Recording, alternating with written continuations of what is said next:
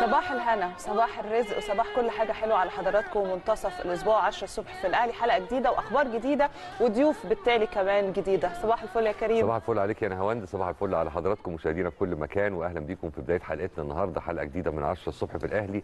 في الجزء الثاني من حلقتنا هيكون عندنا أكتر من فقرة حوارية. الفقرة الأولى هتكون أو هيكون منورنا فيها مروان محمد ومريم همام وهما ثنائي منتخب مصر للتجديف الحاصلين على ذهبية إفريقيا للشواطئ. طبعا إنجاز كبير جدا. أكيد هنحب نعرف منهم تفاصيل هذا الإنجاز. فقرتنا الثانية هينورنا فيها كابتن صديق الجمال نجم النادي الأهلي السابق وحوار مطول حول اللي فات واللي قادم إن شاء الله في إن يعني مع النادي الأهلي. وثالث وآخر فقراتنا هينورنا فيها دكتور باهر السعيد المستشار العلمي لشركة بيكس فارما. وأكيد هنتكلم معاه برضو عن موضوع يهم كتير جدا من حضراتكم. فتابعونا إن شاء الله تجدوا ما يسركم بمناسبة التجديف أنت عارف إن مين أولى الدول أو الشعوب اللي مارست التجديف؟ رياضه التجديف؟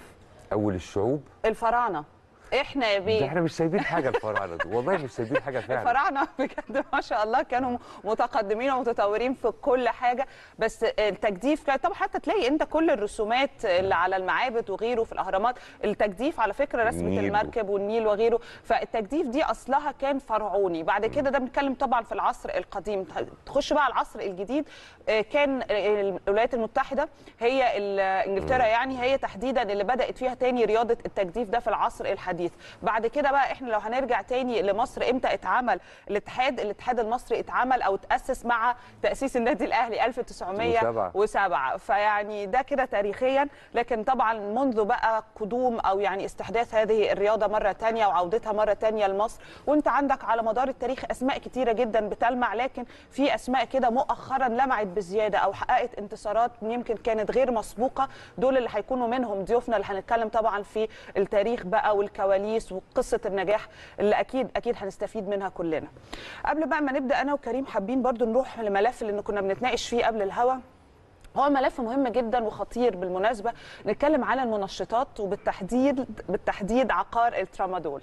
عقار الترامادول يمكن كان عامل زي ما بيتقال كده شوية علامات استفهام في الفترة اللي فاتت. هو منشطات ولا هو مش منشطات؟ هو مخدر ولا هو مش مخدر؟ لا خليني أقول لحضراتكم عقار الترامادول مع بعض اللاعبين أو الرياضيين في مصر لازم يبقوا عارفين إن هذا العقار يعني للأسف الشديد آه هو بيقوي بيدي باور بشكل كبير جدا. لكن خلينا نوضح إن الترامادول الترامادول ده كان غير مدرك أصلا ضمن المنشطات والحقيقة كمان المنظمة المصرية لمكافحة المنشطات اللي هي النادو بذلت مجهود كان كبير جدا لعدة سنوات وطلبوا أكتر من مرة قدموا أكتر من طلب للمنظمة الدولية إدراجه أو إدراج هذا العقار ضمن المنشطات لأنه أصلا خطر يا كريم على صحة أي إنسان مش. بس أي رياضي طبعا. يعني الترامادول ال side effects بتاعته صعبة جدا بتخليك بني آدم ما انتش في وعيك 100% فالموضوع كبير ما بالك بقى لو على رياضي يعني هو يديك power أه بس في نفس الوقت أنت بيبقى ليك side effects صعبة جدا على البني آدم فأكيد لازم كان يتم عمل هنا وقفة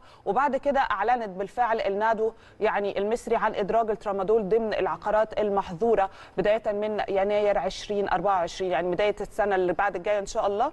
خلاص هيبقى يعتبر ده زي ما بتقال كده مخدر أو منشط وهيمنع تماما على اللعيبة. ف لا ملف مهم يا كريم. الترامادول ده تحديدا هذا العقار له تأثير سلبي بشكل كبير وأدى إلى حوادث وأدى إلى وفيات يعني موضوع ال- ال- الفترة الأخيرة في ناس كتير بعيدا عن مجال الرياضة بتتعامل مع هذا ال- ال- ال- العقار إنجاز التعبير. على اعتبار إنه واحد من المخدرات أصلا مش مجرد منشطات يعني بعيدا عن ميدان الرياضة لا ده في ناس كتير بتتعامل معاه على اعتبار إن هو من المخدرات. وبالمناسبة ليه إدمان هو كمان يعني الحدوتة كبيرة. أكيد برضو في يعني في وقت ما هنتكلم مع حضراتكم عن تفاصيل هذا الأمر بس مبدئيا عايزين كمان نوضح إنه يعني مش مش معنى إن لسه شوية حلوين أو لسه بدري على 2024 فممكن أي رياضي ياخده دلوقتي عادي. لا الموضوع أكبر من كده بكتير لأن النادو المصري أصدرت بيان تحذير لكل اللاعبين واللاعبات ولمختلف الرياضيين بعدم تناول الترامادول لأن اللي هياخده حتى لو دلوقتي لو النهارده ستيل هتظهر نتيجته في أول عينة هتتاخد منه مع أول تحليل في 2024 طبعا أي عينة إيجابية مش محتاجين نقول لحضراتكم بطبيعة الحال صاحبها بيتعرض للإيقاف و- والحرمان من ممارسة اللعبة وفقا طبعا للوائح وفقا لعقوبات الوكالات الدولية لمكافحة المنشطات. ولازم يكون في تنسيق مسبق وتنسيق كبير ما بين المنظمة والأجهزة الطبية المختلفة في مصر في كافة الألعاب طبعا تجنبا للوقوع في خطر تعاطي المنشطات حنس بص أنا بتفق معاك الموضوع فعلا كبير مش بسيط ابدا ولازم نأكد ان أي رياضي أكيد هيسمعنا هيسمعنا دلوقتي هيسمعنا بعد كده أي شخص بيسمع لازم يتجنب هذا العقار لأن هو خطر على مسيرة أي رياضي. يعني تخيل يعني أنت بطل وبتعمل مجهود وإنجازات كتيرة جدا وبعدين مثلا يتم ضبطك بإن أنت واخد هذا العقار ومسيرتك كلها تتدمر. خلاص هيتم وقفك والمسيرة كلها هتتدمر. فده صعب جدا. يعني أعتقد على أي رياضي إن هو يساعد الدولة ويساعد نفسه في الأول وفي الآخر إن هو يحافظ على صحته يحافظ على تاريخه يحافظ على المجهود اللي هو بيبذله ويتجنب تماما خطر المنشطات دي. على كل حال إحنا بنتكلم بشكل عام عشان نروح نسمع بقى كلام علمي أكتر ونعرف تفاصيل أكتر خلينا نروح لدكتور حازم خميس رئيس مجلس إدارة النادو المصري وهي طبعا زي ما كنت بقول لحضراتكم المنظمة المصرية لمكافحة المنشطات. يا دكتور بونجور طبعا في البداية على حضرتك. صباح الأنوار. صباح الفل. يعني عقار الترامادول ده آثار جدل بقاله أو بيثير جدل بقاله سنوات أكيد كتيرة. أنا هروح مع حضرتك ولازم نعرف دور المنظمة طبعا في البداية في توعية هنا كافة الأجهزة الطبية لكافة الألعاب التنسيق كمان معاها لمنع تناول الترامادول. بس في البداية خلينا نسمع من حضرتك كلنا إيه أضرار أصلا هذا العقار عقار الترامادول. اتفضل يا دكتور. حضرتك الترامادول ده آه، آه، بين كيلر يعني. يتاخد عشان يزيل الآلام. من مجموعة للاوبيات دي أحد أنواع المخدرات. المواد المخدرة يعني. الدواء ده آه، يعني آه، استخدم في الأول لتسكين الآلام المبرحة لمرضى السرطان والعياذ بالله يعني. لأنه بيبقوا عايزين حاجة آه، عندهم آلام مش عادية. ابتدى يستخدموا الناس بعد كده لثلاث أسباب غريبة جدا، السبب الأولاني إنه بيخليك صاحي لفترات طويلة. الحاجة الثانية إنه بيزيل أي وجع، اللي عنده وجع في العضلات، وجع في جسمه، عايز يبذل مجهود كبير لساعات طويلة من غير آلام. وثم استخدامات جنسية، بعض الاعتقادات عن استخدامه كحاجة منشط جنسي. ده اللي خلى الناس تقبل على الترامادول آه، بهذا الشكل إلى إن الدولة حطت الترامادول من المواد المخدرة وصرفه بقى بروشتات واختام آه، وحط في جداول المخدرات. آه، ده الوضع. الدواء ده خطير جدا. الدواء ده قد يؤدي إلى الوفاه قد يؤدي إلى توقف التنفس قد يؤدي إلى توقف القلب. فعشان كده عشان أي حد ياخد هذه الأدوية دون وصفة طبية محددة قد تودي بحياه هذا الشخص. للأسف الوادا هي الوكاله الدولية لمكافحه المنشطات تأخرت كثيرا جدا في تقييم عقار ترامادول للرياضيين.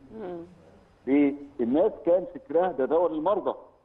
إيه دخل الرياضيين؟ إيه اللي خلى الرياضي ترامادول؟ يعني الربط الربط بعيد شوية آه الربط بعيد فما- كان الأبحاث بتقول إن الدواء ده في بعض الرياضيين ابتدت تاخده كان الواده تقول لك هتاخده ليه؟ لعيب بيلعب رياضي ده لا بيزود العضلات ولا بيزود التنفس طب أنت هتاخد ترامادول ليه؟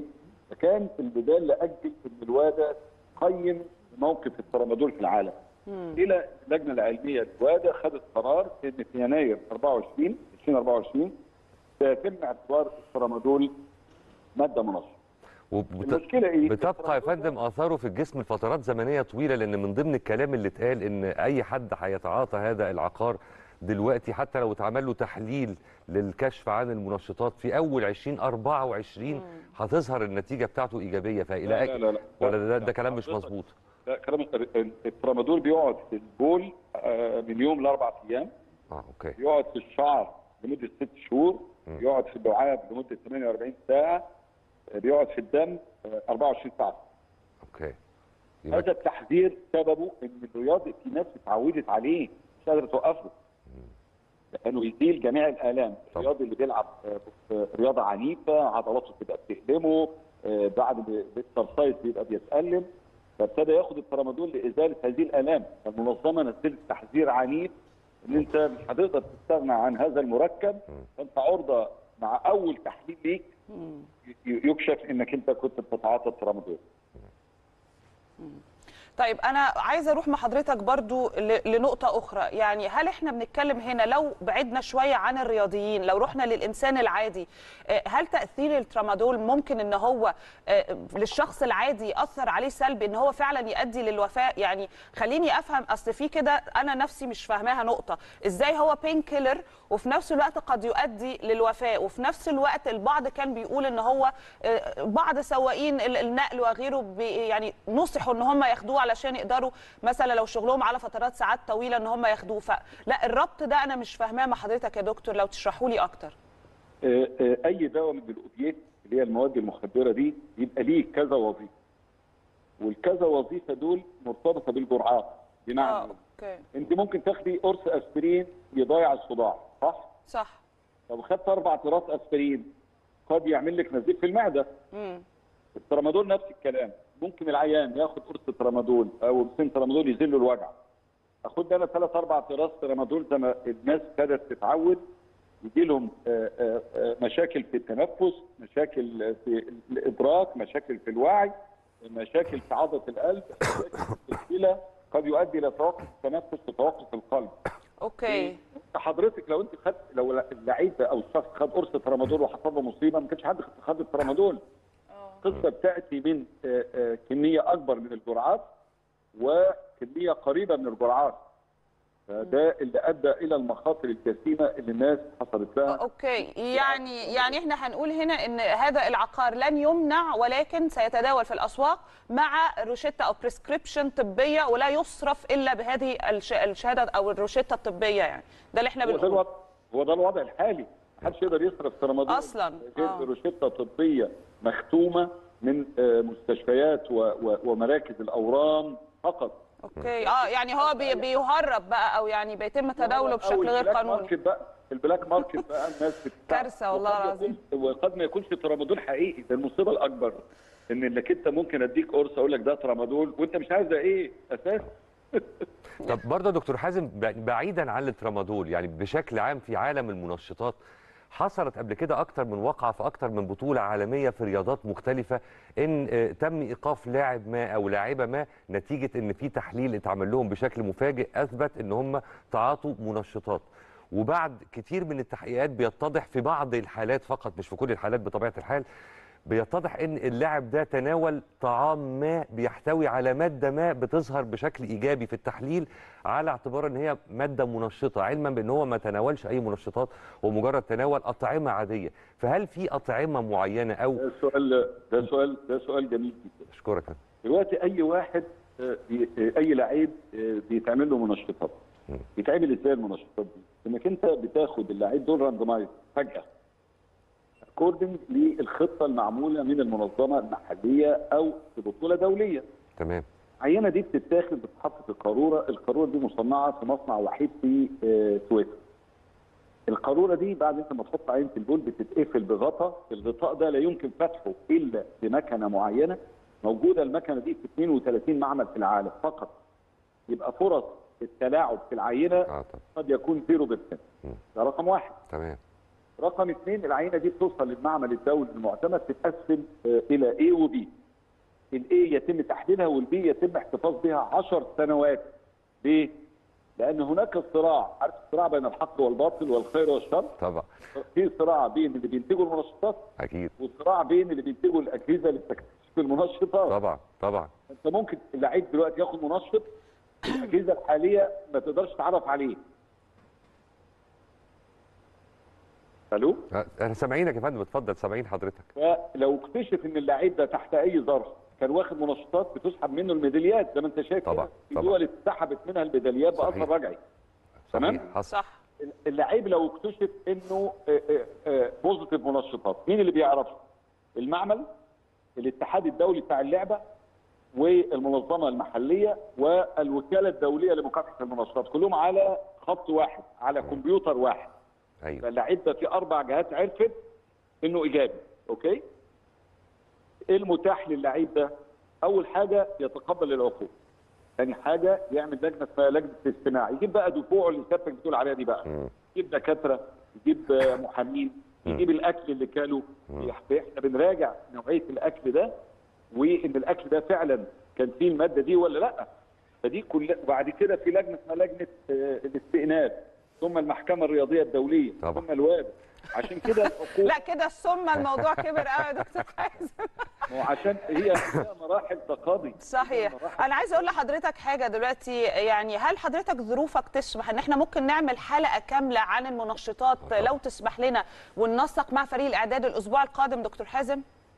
يا ريت إحنا خلاص يعني رائع. وظيفتنا خلاص رائع جدا. هخلي حد أنا وكريم من الاعداد معانا ان شاء الله في الفريق. يكلم حضرتك تكون معانا بإذن الله فقرة كاملة نتكلم بكل الجوانب. الزملكاوية ما يزعلوش مني إن أنا طلعت على قناة الأهلي إحنا كلنا مصر يا فندم وبنتكلم عن موضوع مفيد للكل يا فندم. يعني آه حاجة بصفتي رئيس المنظمة أكيد. أكيد أكيد إحنا مش عايزين حضرتك غير كده عامة لا لا لكن عايز الزملكاوية يزعلوا مني بقى والبس أنا في الموضوع حضرتك. دكتور حضرتك جاي بصفتك دكتور بس وهنتكلم مع حضرتك كده. في موضوع يهم كل الأطراف وكل الرياضيين. المنتمين لمختلف الأندية إحنا ده إحنا تنورنا يا نتشرف دكتور. بحضرتك يا فندم نشكرك على وجودك معانا في حلقتنا النهارده شكرا جزيلا. موضوع خطير جدا على فكرة. أنهي فيهم؟ موضوع المخدرات والمنشطات والترامادول وحدوته ملوش علاقة. لا طبعا. بص ملف محت... ما ينفعش في تليفون آه، بصراحة. طبعا. لازم يبقى فقرة كاملة ونجيب نماذج من رياضيين تم فعلا إقصائهم أو يعني آه، آه، أخذ الميداليات منهم والألقاب منهم لأن فعلا ده حصل على مدار طبعا. التاريخ طبعا. يعني زمان ودلوقتي. وأعتقد آه. ده هيحد شوية فكرة القانون ده هيحد بقى من إن هو يتقرر بشكل كبير مع 2024 لما يطبق بشكل رسمي. نتمنى يعني. أكيد. تعالوا بقى نروح يا حضرات لملف مختلف تماما ونروح تحديدا لبنتنا بنت النادي الأهلي آه، هانا جودة اللي حصلت على لقب بطولة إيطاليا الدولية للناشئين والناشئات لتنس الطاولة واللي هتختتم يوم 5 من نوفمبر القادم إن شاء الله. هانا طبعا اللي سنها 14 سنة الجدير بذكر إن هي بتشارك في مسابقتي تحت 17 وتحت 19 سنة كمان وهتلعب النهارده في منافسات دور ال 32 لتحت سن 19 سنة. بنتمنى لها كل التوفيق الحقيقة. مشرفانا كالعادة. هنا جميلة وإن. شاء الله زي ما بيتقال كده صناعة البطل الأولمبي. هي هنا عندها هذه ال- الماتيريال زي ما بيتقال كده بنت صغيرة بس شاطرة جدا. حكت لنا كانت معانا طبعا كانت معانا في أول حلقة ل 10 الصبح. كانت معانا ضيفة في. أول حلقة للبرنامج خالص. يعني آه، لا شخصية جميلة وبنت صغيرة بس طموحة جدا ذكية جدا. صحيح. أنا بتوقع وكلنا متوقع عليها إن شاء الله مستقبل كبير جدا. وأكيد سعداء إن هي كمان تكون بنت النادي الأهلي. خليني أروح برضو أنا وكريم ونقدم التهنئة للسباح مروان القماش اللي فاز بالميدالية الذهبية في سباق 800 متر حرة في بطولة كأس العالم للسباحة 25 متر اللي أقيمت بمدينة تورونتو بكندا واتكلمنا عنها هنا برضو أكتر من مرة.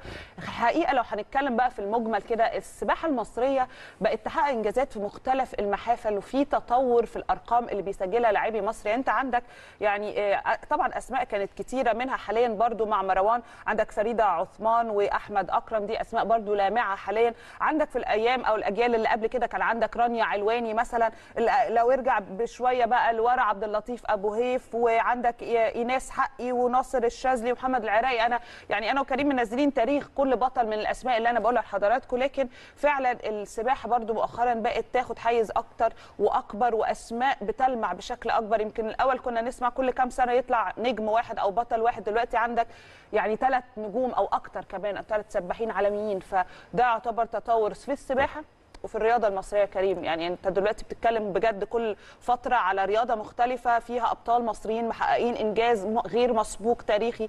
ده إن دل على شيء أكيد على تطور هذا الملف في مصر. فده شيء بتهيألي جيد يعني. وكمان كل فترة والتانية بنتكلم مع حضراتكم عن إنجاز جديد يحسب لسلسلة نجاحات مصرية في تنظيم فعاليات كتير من البطولات الدولية اللي بيحضر فيها يعني المئات وفي بعض الأحيان الآلاف من الوفود المشاركة في هذه الرياضات المختلفة. الحقيقة مصر عاملة شغل أكتر من ممتاز. عايزين نقول لكم من امبارح كان ختام منافسات بطولة إفريقيا لرفع الأثقال اللي نظمتها مصر خلال الفترة من 28 وحتى 31 من أكتوبر. والرقم اللي هنقول لحضراتكم عليه ده رقم لا يستهان به بالمرة. منتخبنا يا حضرات اكتسح هذه البطولة وحقق 62 ميدالية متنوعة بواقع 40 ميدالية ذهب 15 فضة و2 وسبعه آه، برونز. الحقيقة حاجة مشرفة جدا. وامبارح أقامت اللجنة المنظمة حفل الختام آه، يعني على أنغام مجموعة من الأغنيات الوطنية الجميلة. وحقيقي بنشكر كل اللي شاركوا في هذا النجاح الكبير. وكمان بنحيي كل القائمين على هذا التنظيم المصري الرائع لهذه البطولة. والحقيقة مش هذه البطولة بس كل البطولات اللي نظمتها مصر. الكاراتيه مثلا، ما احنا- مثلا هنروح بعيد اللي؟ جاية معانا. لعبة طبعا الكاراتيه. النهارده إحنا على موعد مع عودة بعثة منتخب الكاراتيه من تركيا بعد ما انتهوا من المشاركة في منافسات بطولة العالم واللي حققوا خلالها كام بقى؟ المنتخب حقق المركز الثالث في ترتيب الدول المشاركة برصيد هنا 12 ميدالية أربع ذهبيات فضيتين وست برونزيات. على فكرة ده يعتبر برضو إنجاز حلو. أنت في الكاراتيه ما كنتش متقدم عن كده قوي فأنت فكرة إن أنت كمان بتحرز يعني ميد- ميداليات كتيرة 12 ميدالية يعني أعتقد دي لأ حاجة جميلة جدا منهم أربعة ذهبية أعتقد ده إنجاز برضو آخر يضاف للكاراتيه ورقم. رقم 12 بيتكرر معانا كتير في الفترة الأخيرة. وبعد السوبر. المصري بصفة خاصة رقم 12 للنادي الأهلي برضه فرصة نعمل فلاش باك للحاجات الحلوة اللي بتستجد في حياتنا كأهلاوية تعالوا بقى كمان يعني تفصيلة كده الحقيقة ما ينفعش إن إحنا يعني ما نتكلمش عنها. إنجاز كبير جدا حققه منتخب مصر للكرة الشاطئية بعد ما تأهل لنهائيات كأس العالم للمرة الأولى في تاريخ هذه الرياضة في تاريخ كرة الشاطئ المصرية. يعني الحقيقة لعب المنتخب مباريات قوية جدا وحصل على المركز الثاني في بطولة أمم أفريقيا اللي أقيمت في موزمبيق الأسبوع اللي فات.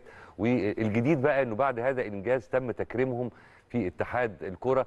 والحقيقة ليهم مننا كل الشكر والتحية والتقدير على كل اللي يعني قدموه خلال هذه البطولة والتأهل ل يعني ال- الإنجاز المحترم اللي إحنا. بنتكلم عليه. حاجة حاجة عظيمة جدا الحقيقة. طيب دي كانت كده نبذة سريعة عن كل البطولات السوفر أو الجديد أو المستحدث لحد هذه اللحظة بنكلم حضراتكم فيها. خليكم هنروح دلوقتي فاصل ونرجع نكمل أخبارنا أكيد. لسه ما خلصتش خليكم معانا. يا أهلا بيكم مرة ثانية عودة من جديد لحلقتنا النهارده من 10 الصبح في الأهلي. وفرصة بقى نتعرف على آخر الأخبار والمستجدات في النادي الأهلي وفروعه المختلفة من خلال زميلتنا العزيزة هنا أبو القاسم. هنا موجودة حاليا في فرع النادي الأهلي بالجزيرة. يا صباح الخيرات يا هنا اتفضلي إحنا سامعينك. يا صباح الخير عليكم وعلى كل مشاهدي قناة الأهلي في كل مكان. يوم جديد و10 الصبح في الأهلي وزي ما عودناكم دايما هننقل لكم كل الأخبار المتعلقة بالنادي الأهلي وفرقه الرياضية المختلفة. خلونا في البداية نبدأ بالفريق الأول لكرة القدم. النهاردة الفريق هيواصل تدريباته تجمع الفريق هيكون الساعة 2 الظهر. استعدادا بقى طبعا لمباراة غدا أمام فريق الداخلية. المباراة هتكون الساعة 5 مساء. يعني الفريق كان استأنف تدريباته وأمس بعد راحة سلبية لمدة 24 ساعة وخلوني بقى أكلمكم أكتر عن مران أمس. في بداية المران خاض الفريق تدريبات بدنية في صالة الجيم. بعد كده اجتمع اللاعبين مع الجهاز الفني عشان بقى يحدثوهم عن بعض الأمور المتعلقة بالفترة القادمة والمباريات القادمة. بعد كده خاض الفريق تدريبات فنية في الملعب. يعني آه، ده فيما يخص أخبار آه، التمرين. كمان بقى خليني أقول لكم إنه على هامش المران واصل اللاعب رامي ربيعة واللاعب أليو ديانج برنامجهم التأهيلي. خاضوا أيضا بعض التدريبات البدنية في صالة الجيم وكمان كان في جزء خاص بجري حول الملعب. كمان بقى خليني أقول لكم إنه اللاعب محمد عبد المنعم أجرى أمس جراحة في آه، الأنف يعني طبعا هيغيب عن التدريبات لمدة خمس أيام. بعد خمس أيام هيرجع بقى للتدريبات مرة تانية لكن منفردا وإن شاء الله في خلال أسبوعين هيرجع ينضم للتدريبات الجماعية. طبعا بنتمنى له الشفاء العاجل إن شاء الله بقى يرجع في أقرب وقت يشارك ويدعم صفوف الفريق. كمان بقى خلونا نروح لناشئين كرة القدم وفريق 2006 قدر يحقق فوز على فريق سيراميكا كليوباترا وبكده يكون تأهل لنصف نهائي بطولة كاس مصر. يعني الحقيقة إن هم متصدرين مجموعتهم فازوا في جميع المباريات لكن في البداية خليني أكلمكم أكتر عن مباراة أمس. فازوا على سيراميكا كليوباترا برباعية نظيفة وأحرز أهداف النادي الأهلي هدفين اللاعب هشام مصطفى واللاعب محمد أحمد سعد وأيضا اللاعب محمد شريف. كده زي ما قلت يكون رفع النادي الأهلي نقاطه لتسع نقاط قدروا يفوزوا على حرس الحدود بنتيجة 2-0 على سموحة بنتيجة 1-0 وعلى سيراميكا كليوباترا بنتيجة 4-0 بنتمنى لهم طبعا كل التوفيق وإن شاء الله بقى يقدروا يحسموا البطولة لصالحهم. ده فيما يخص أخبار كرة القدم. خلونا بقى ننتقل للألعاب الأخرى ونبدأ بكرة السلة. رجال كرة السلة غدا هيكون عندهم أولى مبارياتهم في دور ال 16 من بطولة دوري المرتبط. مباراة هتكون أمام فريق هليوبلس يعني الحقيقة إنه رجال كرة السلة ماشيين بخطى ثابتة جدا في بطولة دوري المرتبط. مباراة المباراة الأولى زي ما قلت هتكون غدا والمباراة الثانية هتكون يوم 5 نوفمبر. بنتمنى لهم طبعا كل التوفيق. يعني خلوني أفكر مشاهدينا طبعا إن هم فازوا في جميع المباريات في الدورة المجمعة الأولى وأيضا الدورة المجمعة الثانية إن شاء الله بقى أيضا يكملوا بنفس الأداء ويحسموا البطولة لصالحهم. أما عن سيدات كرة السلة فغدا هيكون عندهم مباراتهم الثانية أمام فريق مصر للتأمين في دور الثمانيه من بطولة دوري المرتبط. اتمنى لهم طبعا كل التوفيق. وخلوني برضو أذكر مشاهدينا إن هم قدروا يحسموا المباراة الأولى لصالحهم أمام فريق مصر للتأمين بنتيجة 88 36 قدموا الحقيقة مباراة كبيرة جدا كانوا مسيطرين على المباراة منذ بدايتها حتى نهايتها. إن شاء الله أيضا غدا يقدموا نفس الأداء. استكمالا الحديث عن الألعاب الأخرى. خلونا بقى ننتقل لكرة اليد وبالتحديد رجال كرة اليد أمس قدروا يحققوا فوز على فريق البنك الأهلي بنتيجة 34 23 المباراه كانت بتقام هنا بمقر النادي الأهلي بالجزيرة على صالة الأمير عبد الله الفيصل. رجال كرة اليد عملوا مباراة كبيرة جدا قدروا يحسموا الشوط الأول لصالحهم بنتيجة 18 6 والشوط الثاني والمباراة زي ما قلت بنتيجة 34 23 ده ضمن منافسات بطولة الدوري. كمان الحقيقة المباراة اللي قبلها رجال كرة اليد كانوا بينافسوا فريق تشامبيونز الرحاب في بطولة كاس مصر وقدروا أيضا يحسموا المباراة لصالحهم بفرق score كبير يعني حسموا المباراة بنتيجة 39 13 نتمنى لهم طبعا كل التوفيق فيما هو قادم.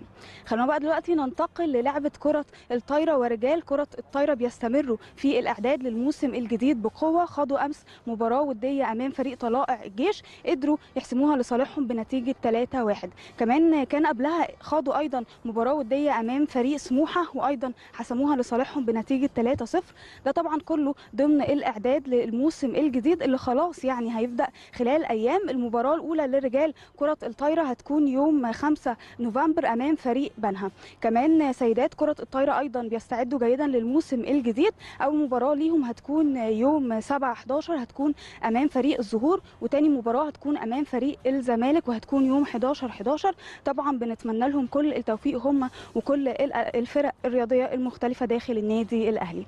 أخيرا بقى خلونا نروح للعبه تنس الطاولة وكابتن خالد العوضي مدير عام النشاط الرياضي بالنادي الأهلي. أمس أعلن التجديد للاعب شادي مجدي لاعب تنس الطاولة. طبعا هو مصنف الأول في مصر حاليا وأيضا اللاعب محمد البيلي. يعني تم التجديد التعاقد مع اللاعبين لمدة أربع مواسم. نتمنى لهم طبعا كل التوفيق. طبعا زي ما إحنا عارفين هم تألقوا بشكل كبير جدا مع النادي الأهلي ومنتخبنا الوطني. أتمنى لهم بقى كل التوفيق في الموسم الجديد وإن شاء الله يستمروا بنفس المستوى.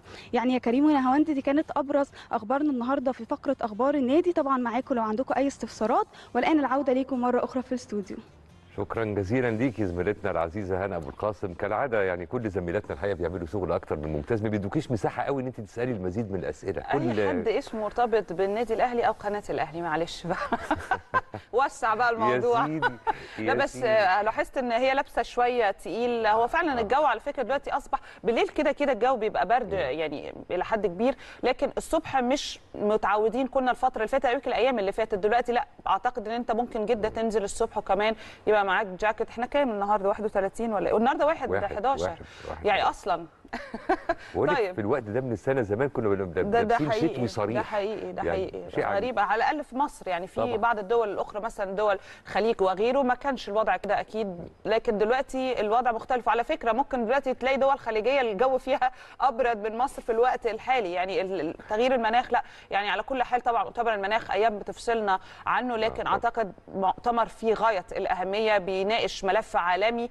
آه، نتائجه للأسف الشديد لو ما تمش تداركها من دلوقتي هتبقى كارثة عالمية. آه، الأخصائيين أو العلماء تحدثوا قد إيه ممكن يكون في على مدار 50 أو اللونج تيرم يعني هيبقى في مدن بتختفي في حيوانات أو كائنات حية بتنقرض. كل ده بسبب تغيير المناخ ملف في غاية الأهمية.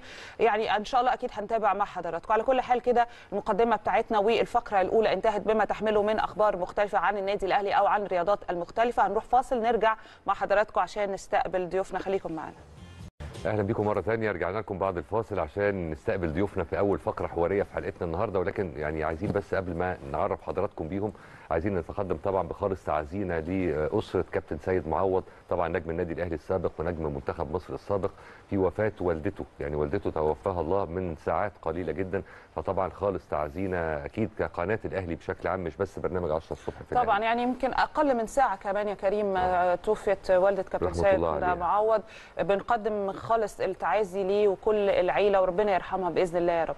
طيب ندخل بقى في تفاصيل لأول فقرة حوارية معانا النهارده وهنتكلم من خلالها عن منتخب مصر للتجديف على الشواطئ والحقيقة في إنجاز كبير جدا حققوه شبابنا وشاباتنا في البطولة اللي أقيمت مؤخرا في تونس. تعالوا نتعرف عشان ما نضيعش وقت في المقدمة نتعرف على طول على ضيوفنا اللي منورنا معانا مروان محمد ومريم همام. صباح الفل عليكم واهلا بيكم. ومبروك الإنجاز المحترم اللي اتحقق. الله يبارك في حضرتك.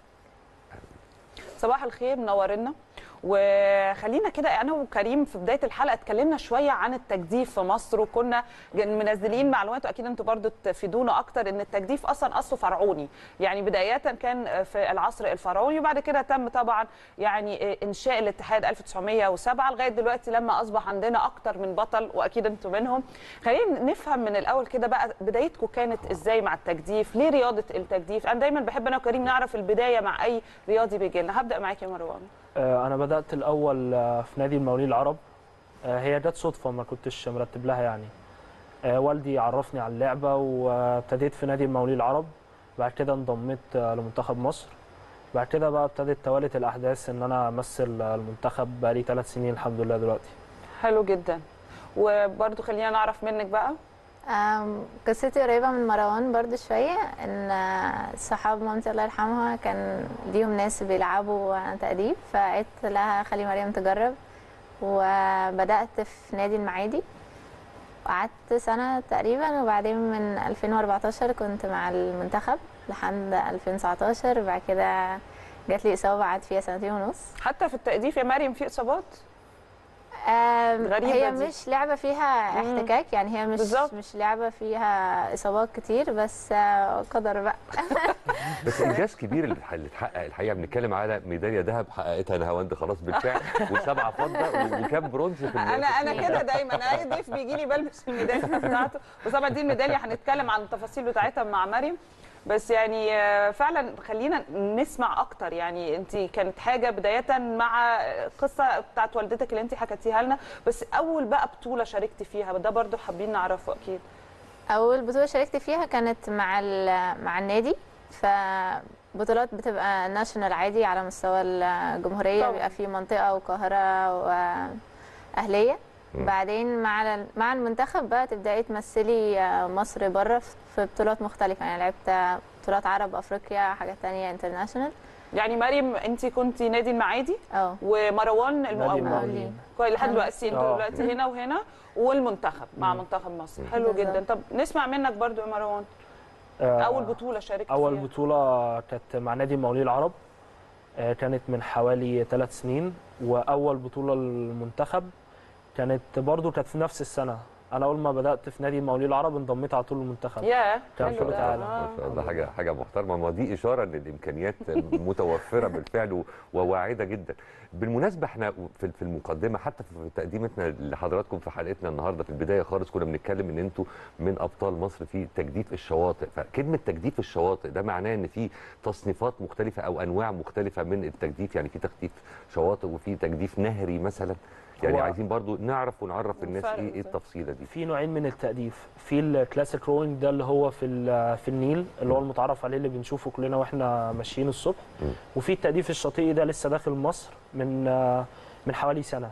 okay. إحنا لسه جداد في التأديف الشاطئي لكن ال classic rowing ده ده اللي إحنا أصلا ابتدى عندنا من أيام طب الفراعنه إيه إيه الفرق في الممارسة بقى؟ هل هل مثلا ثقل حجم المية بيختلف ما بين النهر عن البحر؟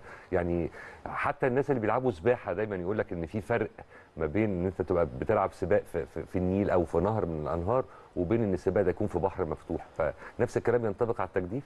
آه، النيل طبعا تأديف اللي هو بيكون في النيل بيبقى بي- بيكون الاختلاف في شكل المركب. إن طبعا النيل مش أمواج زي البحر okay. فالنيل بتكون المركب أصغر وأرفع شوية. مم. التجديف ال- في البحر بيبقى ليه مركب اللي هي قدامنا دي. آه هي دي. أيوه. دي بتكون أعرض من المركب ال- اللي هي الثانية النيلية اللي هي أيوة. بتكون في النيل. وطبعا مية البحر بتكون أخف من النيل. أكيد. بس دي ليها مسابقات ودي ليها آه دي ليها مسابقات مسابقات ودي ليها مسابقات. أوكي. جميل. في دول كتير في أوروبا اللي هي الدول اللي بتتميز إن عندها كم كبير من الأنهار. بتلاقيهم متفوقين قوي في النوع ده من الرياضات. إحنا في مصر نهر موجود بحرين تلاقي يعني المفروض إن إحنا عندنا عندنا كاملة. مساحة حلوة يعني إن إحنا يبقى عندنا أبطال كتير في الرياضة دي ولا إيه؟ هو بالنسبة للسباقات بتاعة ال flat water اللي هي بتبقى في مية يعني مية عادية بحي- بحيرة أو كده عندنا بتبقى مختلفة شوية إن إحنا بنتمرن في نيل في تيار بعدين لما بتلعب سبق أنت بتلعب سبق في مية هي مية جارية بس ما فيهاش تيار مية يعني يبقى في تيار هواء مش مية بيبقى في فرق توقيتات آه يعني أنت متعود بتتمرن أو السبق بتاعك بيبقى في مدة معينة غالبا هنا في القاهرة لما بتطلع بره بتبقى ال time مختلف شوية بتحسه أطول شوية. ده بالنسبة لل flat water هي المسافة ال standard 2 كيلو. لما طبعا نيجي flat water أسهل بكتير يعني ما بيبقاش فيها مشكلة صح؟ آه لا خالص ده يعني هم. آه كل يعني كل حاجة ليها ال- صعوباتها. يعني. بالظبط هو يمكن عشان النيل لو هنتكلم النيل يعتبر flat water أصلا ولا لأ؟ النيل آه، flat water بس آه. عشان تقيل المايه بتاعته تقيلة أيوة. فده يعتبر صعب بس هو flat water بس مش dead water مش dead water بره البطولات بتكون في dead water اللي هي بحيرة مقفولة إحنا هنا عندنا التيار بيجي من طبعاً. أسوان طب فده بيبقى فيه فرق لما لما بنطلع بره يعني. التيار ده بيشكل صعوبة أكتر بتهيألي لا؟ بيشد ولا ولا بيسهل مأموريتكم إن بتبقى زي العجلة شوية. يعني لما تقل البدال بتبقى أسرع بس بتبدل أقل. لكن لما تخف البدال بتبقى أسرع بس بتبقى هي أخف. فهي نفس الفكرة. بس لو على التايم لو أنت في سبق مع تيار مية طبعا ال time بتاعك هيبقى أقل. لو أنت في سبق من غير تيار مية okay. فترة أطول هو بيعتمد mainly على ال shoulders أو على قوة ال- الذراعين ولا على الجسم كله برضو؟ عشان دي معلومة أنا عايزة أعرفها. التأديف بيشغل عضلات الجسم كلها. كلها. كلها. Okay. والتدريبات بتاعتكم يا مريم بتبقى يعني full body آه مش mainly upper لا العكس. يعني هي أكتر حاجة إحنا بنستعملها رجليكي ظهرك فعلاً. إيدك يعني إيدك comes last okay. بس آه، أنت بتستعملي عضلات الجسم كلها. يعني زي ما مروان قال. طب ونوع تدريباتكم نفسها بتكون عبارة عن إيه؟ يعني يومكم الرياضي عبارة عن إيه؟ ال... هو الشواطئ مختلفة شوية عن ال... ال... ال... يعني السباقات بتاعتنا العادية يعني، بالظبط. لأن إحنا في العادي بيبقى في ال flat water بيبقى سبقك في المية بس. يعني هي 2 كيلو آه، من start لل finish أنت في المية. بالنسبة للتأديب بتاع الشواطئ أنت عندك في جزء sprint الأول قبل ما تنزل المية. بعد يعني sprint بيبقى 50 متر السبق بتاعك 500 متر. وترجع تاني ت sprint 50 متر. فإحنا أغلب الناس أو كلنا كل الناس اللي دخلت منتخب الشواطئ هم أصلا قديفة يعني كلا كلاسيك عادي. فكان في شغل كتير قوي على ال footwork اللي هو إحنا بنجري بقى sprint ات إزاي بنعمل إيه. يعني انت حتى في العادي لو التمارين الجري بتاعتك هتبقى distance مش هتبقى سرعات. ف... فاللي هو قلبنا زي بتوع الكوره شوية. بس انت تمارينك بتبقى مية آه، أو في ergometer ergometer ده جهاز تأديف بيبقى على الأرض تبقى simulation يعني تأديف في المية. آه، حديد جري عجل يعني بتبقى متقسمة لحاجات كتير. ده زي الطيارين عندهم برضو نفس التدريب. طيب عايز اسالكم حاجة بقى. إيه أكتر الدول ال- اللي صعبة تنافسيا؟ يعني هبدأ بيك يا مروان. إيه أكتر الدول المفروض متألقة جدا في التجديف طبعا إنجلترا آه، ألمانيا آه، أيرلندا إيطاليا. طبعا كل كل دول أوروبا عامة. أوروبا in general آه. Okay. طب لما لعبتوهم قبل كده آه، ال ranking كان إيه؟ ال ranking أنا في في إيطاليا تصنفت آه، 12 out of 29 okay. كان آه، يعني كنت متفوق على أمريكا نرويج آه، إسبانيا. كان كذا دولة أوروبية يعني الحمد لله. حلو. و- ومريم؟ آه، تسعة من عشرين. كانت التاسع من عشرين. ده في تألق برضه. وإيه الدول برضه اللي أنت بتشوفيها؟ هل برضه أوروبا زي ما مروان بيتكلم؟ دول أوروبا in general آه ومعاهم ممكن من أفريقيا آه، أكتر أكتر دولة منافسة لينا هي تونس. تونس okay. آه. هي هي اللي حصلت على المركز الأول يعني أنتوا الترتيب العام لمنتخب مصر في البطولة الأفريقية الأخيرة كان المركز الثاني على حد علمي آه. صح؟ مين مين اللي خد المركز الأول؟ تونس. تونس. بس آه. هم أصلا أبطال عالم في الرياضة دي. هم ابتدوها مثلا من ست سنين قبلنا. مم. إحنا ال- الرياضة دي لسه داخلة مصر السنة اللي فاتت. حتى إحنا لسه ال- المراكب أنت تقصد على التجديف الشاطئي تحديدا. التأديف الشاطئي. آه. آه لكن آه إحنا مثلا 2019 آه كان في بطولة في تونس بس كانت آه، اللي هي flat water اللي هي بقى التأديف النهري عادي. أيوه. آه إحنا حصلنا على الترتيب العام مركز أول الحمد لله. ما شاء الله. آه لكن التأليف الشاطئي لسه داخل مصر جديد فإحنا لسه خبرتنا فيه مش آه مش كبيرة لسه. حتى القوارب القوارب لسه ما جبناش مراكب خالص. عندنا التأليف الشاطئي يعني. طب ومين المفروض اللي يجيب القوارب؟ لو أنا هروح بقى للنقطة دي معاكم هل الاتحاد هو اللي هيكون مسؤول عن ده ولا ده بيبقى دعم ذاتي بقى من الرياضيين؟ آه لا هو المفروض هو الاتحاد عامة يعني بيوفر لنا كل حاجة يعني في وسعه. يعني حتى أوكي. آخر بطولة ديت البادجت ما كفتش دكتور عمرو رئيس الاتحاد وكابتن شريف نائب رئيس الاتحاد هم اللي سفرونا على حسابهم. والله حسابهم الشخصي. حسابهم الشخصي. يا هم عشان تشاركوا في البطولة. عشان نشارك في البطولة. آه فهم الصراحة بيحاولوا يبذلوا يعني آه، قصارى جهدهم لكن القوارب هي غالية جدا. المراكب آه، يعني أسعار آه، بس طالما رياضة جديدة مستحدثة في مصر فطبيعي إن أنتوا مش اللي تبقوا مطالبين إن أنتوا تجيبوها يعني بس صح؟ هو آه هو الاتحاد عامة اتوافق القرار إن القوارب آه، تتجاب واتطلبت بالفعل بس هي لسه ما وصلتش مصر أوكي طب حلو حلو ده طيب ال- ال- الحد الأدنى لأي مثلا طفل حابب إن هو يمارس الرياضة دي أو أولياء أمور عايزين يوجهوا ابنهم أو بنتهم لممارسة رياضه التجديف يعني أصغر سن ممكن يبتدي يمارس هذه الرياضة إيه؟ وهل ليها حد أقصى؟ ومش بس بتكلم على صعيد البطولات يعني أو المشاركة في فعاليات بطولات مختلفة أنا بتكلم عموما حتى الممارسة ال- ال- الشخصية. مل- ملهاش سقف مش كده برضو؟ لا ملهاش. يعني في في أرقام عالم لناس عندها 100 سنة 90 سنة 60 فلا يعني هي رياضة معمرة. والسن بقى يعني ابتداء من سن كام ممكن الأولاد والبنات يمارسوا الرياضة دي؟ آه، أعتقد سبع سنين آه، في ناس آه، بتبدأ وهي عندها سبع سنين. مم. من سن سبع سنين بيكون مؤهل إنه ينزل آه، يقدف وطبعا قوارب بقى أصغر آه كتير أصغر و... آه. Okay. طب جميل. خلينا بقى نعرف يعني فكرة هنا الزوجي والفردي عشان برضو دي معلومات أنا ما أعرفهاش شخصيا. أنتوا بتلعبوا زوجي ولا بتلعبوا فردي ولا إيه؟ قولي لنا يا مريم. آه أنا في التأديف العادي بنزل فردي بنزل زوجي بنزل okay أربعة. كله. البطولة اللي فاتت نزلت فيها فردي ونزلت فيها زوجي. آه بس في ال coastal rowing آخر يعني آخر عدد أشخاص ممكن ينزلوا بيبقى أربعة لكن في التأديف العادي ممكن ثمانية يعني مركب بيبقى فيها في سباقات لمراكب ثمانية ومروان برضو زوجي وفردي آه زوجي وفردي بس آه، على طول آه، بنزل فردي يعني. أحسن ولا يعني بصراحة اني أحسن؟ اني هو- أسهل كمان؟ لا أسهل كل ما المركب بتكبر كل ما المركب تكون سهلة. أوكي. لكن فردي ده أصعب مركب. آه. الموضوع عليك أنت بس. الموضوع عليا. طبعا والمسؤولية بالكامل عليك طبعاً. انت فعلا. طيب أنتوا الفترة الجاية إن شاء الله بتستعدوا لإيه؟ هل في مشاركات قريب في أي بطولة من البطولات سواء محليا أو دوليا؟ إن شاء الله عندنا بطولة أفريقيا شهر 12 بإذن الله يوم 23 و24 هتتنظم فين؟ في مدينة العلمين إن شاء الله. جميل. دي مصر مستضيفاها ودي إن شاء الله ال target بتاعنا الفترة اللي جاية. ابتدينا رجعنا بقى منتخب ال classic rowing وشغالين إن شاء الله عليها بإذن الله. هتشاركي فيها إن شاء الله يا مريم ولا إيه؟ إن شاء الله. يعني هي السلكشنز بتاعه المنتخب المفروض إن هي هتبدأ كمان أسبوع آه، اللي هم يشوفوا التصفيات مين أحسن حد يبقى ده مكانه هتنزل اني مركب كده. فربنا يوفقنا إن شاء الله. طب بالنسبة للبطولات اللي أنتوا بتحصلوا عليها تمام؟ وانتوا حصلتوا على بطولات كتير هل بيبقى في بقى جوائز بيبقى في تكريمات؟ يعني كلمونا عن ده برضو. أنتوا سكتوا ليه؟ دي إجابة في حد ذاتها. لو ما تكسفيناش بقى لا، ما ده؟ تكسفيناش. لا مفيش بجد. لا هو مريم تصدق ردك بليغ جدا.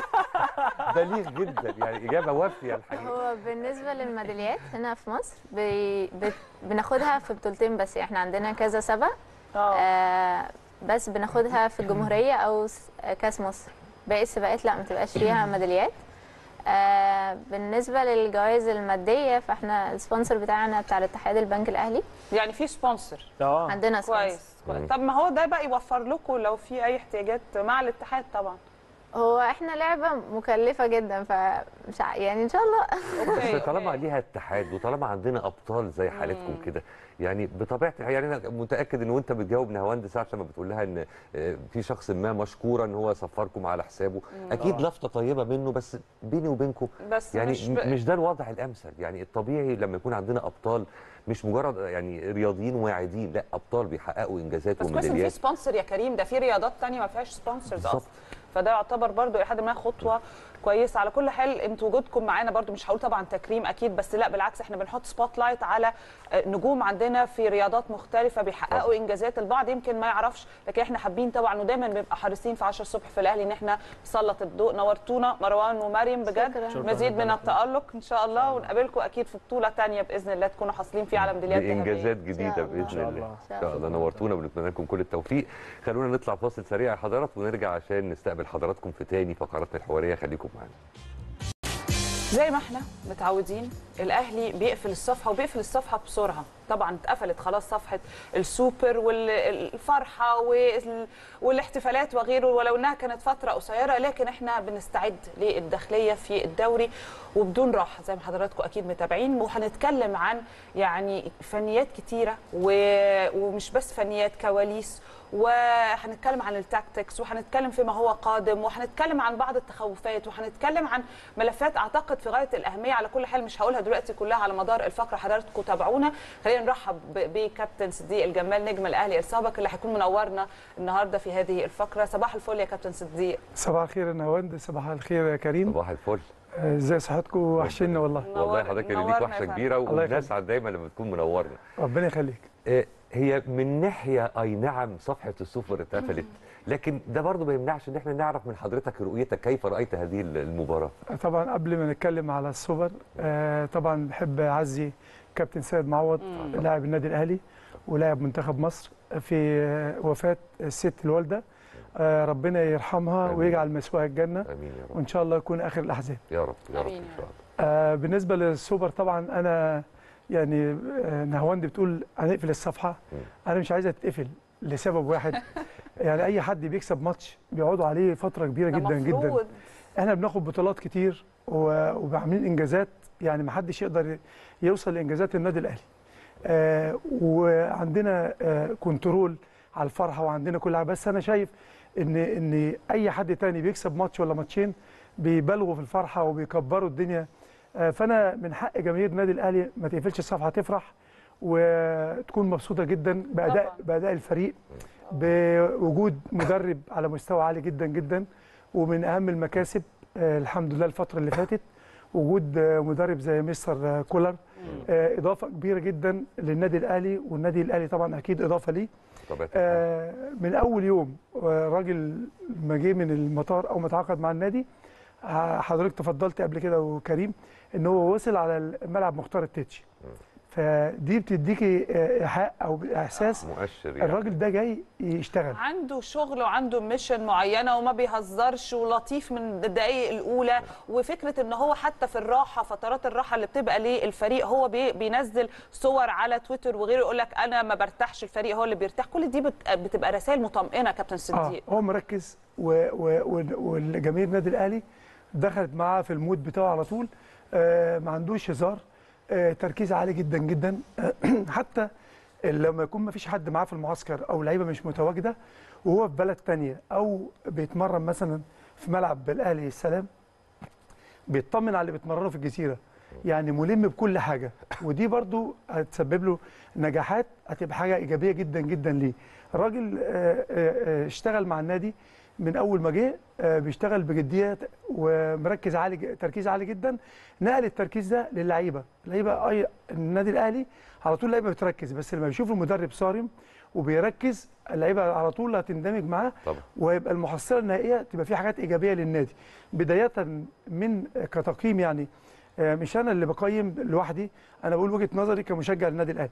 بداية من مباراة الفريق التونسي اتحاد المونسيري آه. آه، مباراتين عملهم على اكمل. وجه. صحيح, صحيح. داخليا وخارجيا. تشكيل آه، قراءة ملعب تغييرات. ال- المكان آه، في مكاسب كتير هنتكلم عليها بالنسبة للعيبة كتير. آه، المباراه الودية مباراه الاثنين بتوع بطولة الدوري العام. فلما نيجي المحصلة تيجي تقيمه لا نجح. في بصمة. بس بس ده برضه ما منعش ال- البعض من الناس إنه يقول لك ما معناه. إن إحنا ما نقدرش نحكم عليه قوي من ماتشين بتوع الاتحاد المنستيري ولا حتى الماتشين بتوع الدوري وإن المحك الرئيسي هيكون لقاء السوبر وبالمناسبه بنتمنى له أكيد الشفاء ال- ال- العاجل هو وكابتن علي معلول لأن عندهم دور برد حسدناهم. والله والله العظيم عنده إيه؟ عندهم برد مستر يعني كولر وعلي كولر معلول. وكابتن علي معلول بنتمنى لهم الشفاء العاجل يعني العاجل جدا طبعا. إحنا محتاجينه آه. آه بس هو برد دور برد إن شاء الله يعني ان شاء الله إن شاء الله ربنا يشفيهم يعني أنا بتكلم على التقييم مش تقييم عام للموسم كله أو الفترة اللي هو لسه يقضيها بس. في حاجات بتبقى دلائل كده من الأول طبعا. بتديك إحساس ان إن في مؤشرات نجاح. أول رسائل الطمأنة اللي حضرتك آه. شخصيا قريتها كانت إيه؟ آه، آه، آه، أول ما نزل الملعب من أول يوم ما جه فيه راجل مدرب معاه سي في عالي جدا وفكره عالي جدا وجاي مركز. فالشغل بان من من البدايات في مؤشرات للنجاح. بيجي مدرب تاني ممكن بداية شغله انت بتبقى متوترة جدا من نتائج من آه، آه، التدريبات من ال- المعاملة مع اللعيبة من الجو يعني الإحساس بيبان. صح. انت نفسيا حتى بترتاحي. انت لما تيجي مثلا بتعملي حلقة وتحسي إن انت مرتاحة مع الضيف في الآخر بتحسي إن انت عملت حاجة كويسة. لو مش مظبطه الدنيا معاكي هتقولي الحلقة دي عدت مني ما كانتش المفروض يحصل كذا أو كذا. أيوة. إنما الشغل الجماعي آه، والراجل زي ما قلت لحضرتك عنده فكرة عالية جدا. فأنا مؤشرات بتقول إن هو راجل آه، مدرب كويس جدا وإن شاء الله هيبقى عنده آه، نجاحات كبيرة مع team النادي الأهلي. بس أنا قيمته على المباريات لأن الكره نتائج. أكيد. بعد ما عمل آه، الماتشين بتوع أفريقيا وعمل ماتشين الدوري ناس كانت مستعجلة تقول لك عايزين score. لا هو بيلعب بطريقة لعب في اكتشف لعيبة يعني اكتشاف جديد لمتولي. طبعا عبد المنعم ماشي كويس لما كان في المنتخب. آه، آه، التوظيف بتاع اللعيبة طاهر محمد طاهر مش ده اللي كان بتاع الفترة اللي فاتت. فتحس إن الراجل عنده حاجة هيطلعها من لعيبة النادي الأهلي بالذات اللي هم عندهم إمكانيات وبعدين ما بيجاملش. ما بيجاملش لأن المدرب الأجنبي بيتعامل مع شورت وفانيلا اللعيب ده بقى لسه جاي النادي بقى له خمس دقايق اللعيب ده في النادي بقى له 10 سنين لا ما بيشتغلش كده. بيشتغل الوحدات التدريبية الانضباط التكتيكي في الملعب المرونة التكتيكية اللي عند اللاعب هو ده اللي بي اللي بيخليه يعتمد على اللعيبة. بس مش أحيانا برضو بيضطر المدير الفني يعني لعمل بعض ال- ال- الموائمات آه، فاهم قصدي؟ عشان برضو إيه ال- الجانب النفسي يعني البعد النفسي ساعات بيجبر المدير. الفني إنه يعمل موازنات معينة عشان يمشي المركب في بعض بالنسبة. للعيبة يعني؟ مثلا في ال rotation مثلا. أو أو في قيادة الفريق مثلا أو في الناس اللي بتبقى في ال- في ال score أو الناس اللي بره. هو آه، آه، في النادي الأهلي بالذات يعني مش عايز أتكلم على أي أندية تاني أيوة. بيدوا صلاحيات كاملة للمدرب من أول ما بيتعاقد مع النادي حتة التشكيل حتة إن يختار ده أو يقعد ده يعني أنت في وجهة نظرك إن متولي كان يظهر بالصورة دي أو كان يلعب متولي كان بعيد. كان في إصابات بعيد عن الفورمة بتاعت اللعب طبعا. ما كانش لما لعب دلوقتي متولي عمل حالة كويسة جدا جدا الحتة اللي ورا زي ما كان بدر بنون أو الناس اللي كانت. بتلعب في المكان ده دي ما تقللش من ياسر ما تقللش من أيمن أشرف بس هو اللي على الساحة دلوقتي واقف على رجليه متولي عامل مباراة السوبر ولا اروع المباراة اللي قبليها لأن بيبني الهجمة من تحت وعنده فكر عالي جدا بيسلم نص الملعب آه لعيب كورة. فطبعا ممكن ده كان بعيد جابه. طاهر كان بيلعب بيمشي على سطر ويسيب سطر. هو كتوظيف موظفه مديله صلاحيات وكمان مديله ارتياحية بالنسبة لأدائه. ما انت ممكن تبقى تلعب تحت ضغط. مش هتبقى مش هتبدع. فهو المدرب شايف مين يلعب مين يبقى الفترة دي بعيد سواء بالمجمل مباراة السوبر اتعامل معاها باحترافية بذكاء عالي جدا. النقطة النقطة آه. في إيه؟ هو مش بيجامل لاعب على جا... على لاعب، هو بي... بيشوف اللاعب مين ال- ال- اللي محتاجه دلوقتي الأصلح في التوقيت ده. في- بالظبط. حتى آه. بقى لو هو حد صاعد من الناشئين أو غيره ده م- دي النقطة اللي كولر فعلا بصراحة تحسب ليه. يعني وهو من أول ما جه برده هو اتكلم قال لك أنا ماليش دعوة مين لاعب قديم ومين لاعب جديد. دي كانت تصريحات هو حتى اتكلم عنها. صح. فدي نقطة تحسب ليه بصراحة. طبعا لأن المعاملة تفرق أنا قلت اول بداية كلامي قلت إيه؟ ما قلتش اسامي لعيبه بقول لك اللي جاي النادي بقى له خمس دقائق زي اللي قاعد بقى له هو 10 ده. سنين. فهو عايز ينجح فاللي بيحقق نجاحات بيكون عادل في قراراته في اختياراته في تغييراته. فهو اتعامل مع مباراه السوبر في هدوء عنده ثبات انفعالي عالي جدا. يعني إحنا جبنا الجول الأولاني ال- المدرب هادي جدا جدا ومركز في الفرقة والتغييرات اللي في الملعب ال- الحاجات التكتيكية. تعامل مع الزمالك آه، ب- ب- باحترافية في حتة فرقة الزمالك فرقة كويسة وناهيين كويس الموسم اللي فات. آه، وعنده عناصر كويسة. صديق ما كانش الزمالك عارف يط... يعني يعدي معانا. إحنا كان عندنا خط دفاع ولا أروع. فدي برضو دي تعتبر ذكاء جدا من ما, ما أنا بقول لك. ما دي تحسب للمدرب. تعامل مع فرقة الزمالك مفاتيح اللعب بتاعتهم قفل عليهم المساحات اللي هم طبعا. بيجيدوا في تحركاتها بيجوا من تحت. إن كان زيزو أو إمام عاشور أو حتى شيكابالا لما كان بينزل. نزل شيكابالا يعني آه، آه، آه، كل التقدير والاحترام ليه. كأنه مع يعني ما عملش حاجة. نفس الكلام إمام عاشور كان خارج الخدمة.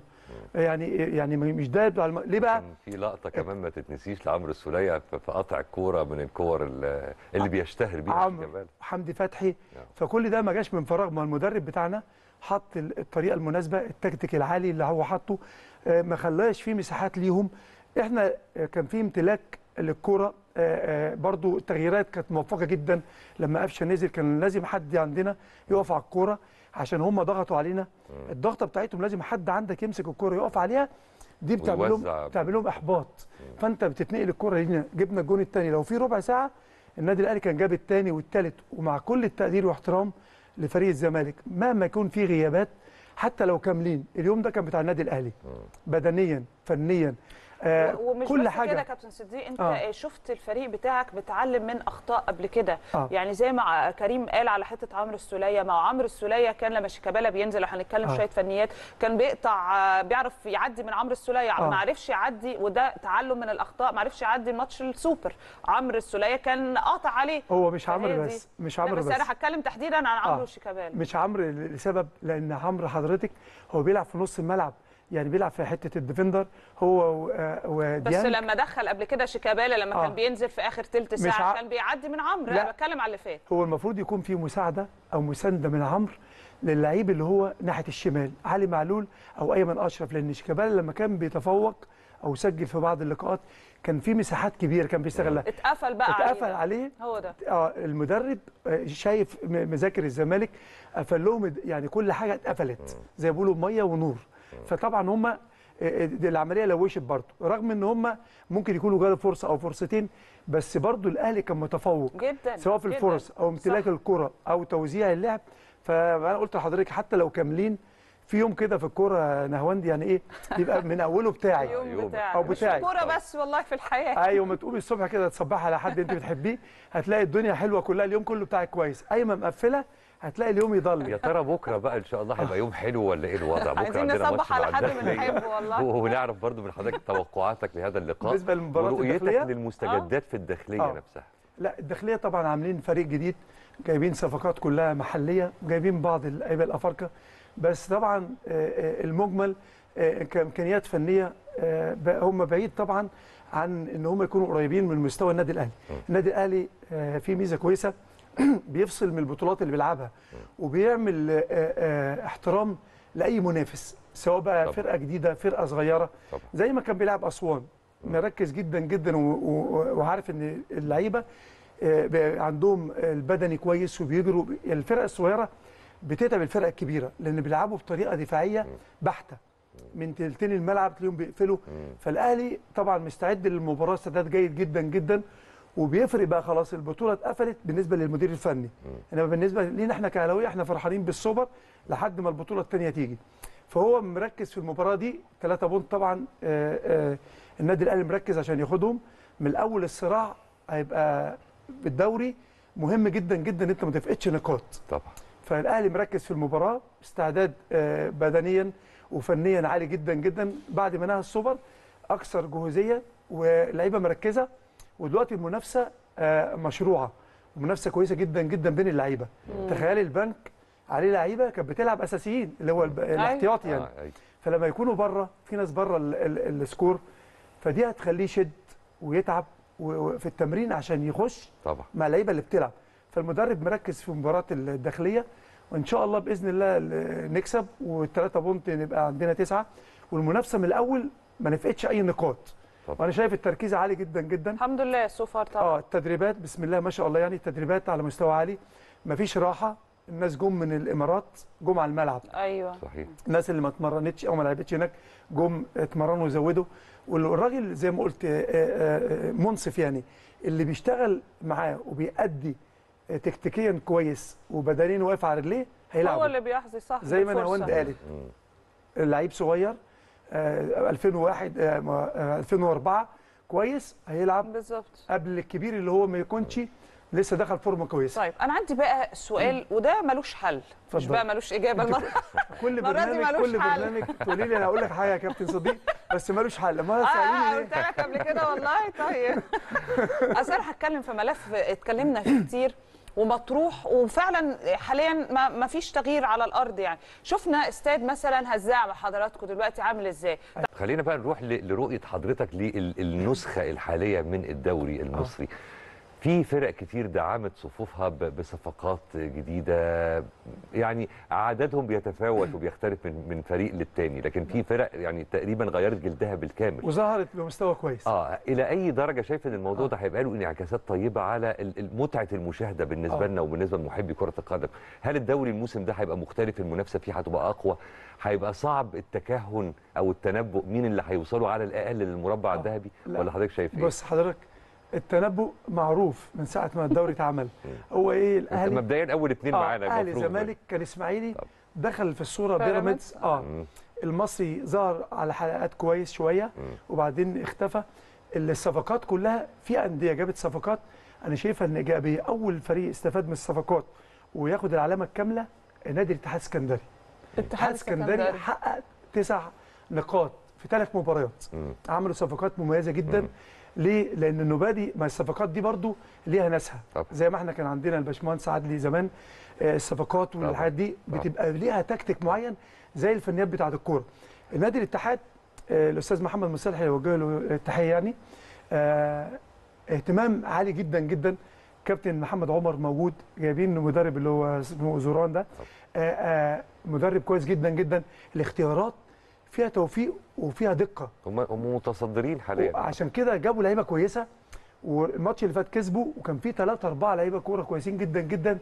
آه في اللي بره السكور إصابة في اللي موقوف وكسبوا. ويقلب الماتش آه زي ما بيقولوا يعني من واحد جاب ثلاث تجوان. فدول ظهر عليهم الصفقات.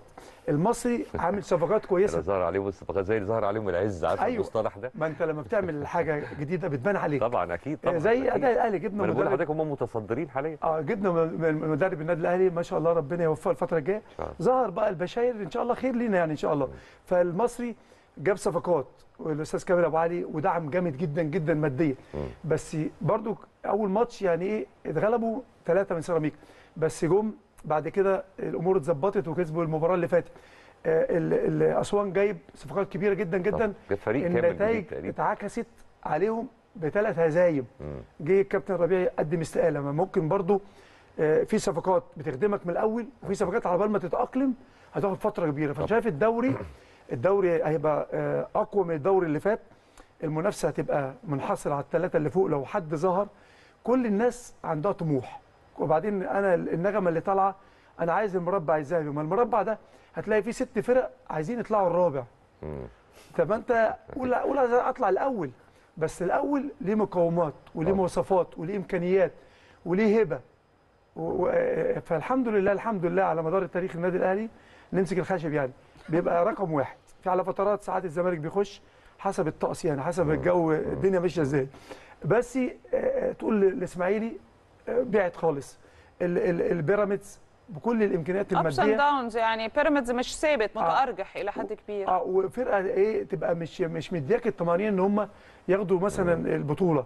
أو آه بي بي بيعافروا زي ما بيقولوا يعني. برضو خلي بالك غياب آه. الجماهير لفريق حتى لو كان تقيل بيحمل برضو يعني نجوم آه، وفي إمكانيات مادية كبيرة برضو ب- ما بيخدمش قوي يعني. آه. أنت أنا محتاج أنا. حد يشجعني حد أنا مع. حضرتك مع حضرتك بس برضو سلاح ذو حدين ما برضو ما فيش جماهير في ارتياحية ما فيش ضغوطات عليهم. بيلعبوا. لا معقولة؟ ما ما فيش ضغوطات عليهم لا, ما إزاي؟ بير- بيتلقوا نقد برضو من جماهير نوادي تانية النقد؟ عادي النقد عادي بس جماهير الفريق لو الفريق ماشي مش مش كويس يعني الدنيا كانت والعه بورسعيد. لو كان إيهاب اتغلب الماتش الثاني ما, ما أسوان هي اللي جماهيرهم قليله مش كبيرة قوي أسوان. كل التقدير والاحترام ليهم بلد طبعاً، جميلة. طبعاً. بس آه، جماهيرهم قليله بس الدنيا ولعت إن الفريق خسر ثلاث ماتشات. إنما فريق معهوش جماهير. ممكن برضه تفرق معاه إن بيبقى عنده advantage. إن ما حدش بيضغط عليه إنما الإعلام والصحافة ما أكيد لازم الناس أنا أنا. أنا هختلف مع حضرتك شوية أنا آه. آه. بشوف بالعكس دي حاجة disadvantage بشكل عظيم آه. آه. يعني شيء كارثي إن أنا أبقى شخص بلعب وما عنديش جماهير لأن الجماهير لها تأثير ربما بتبقى هي المكسب أو أسباب أو سبب للمكسب ب...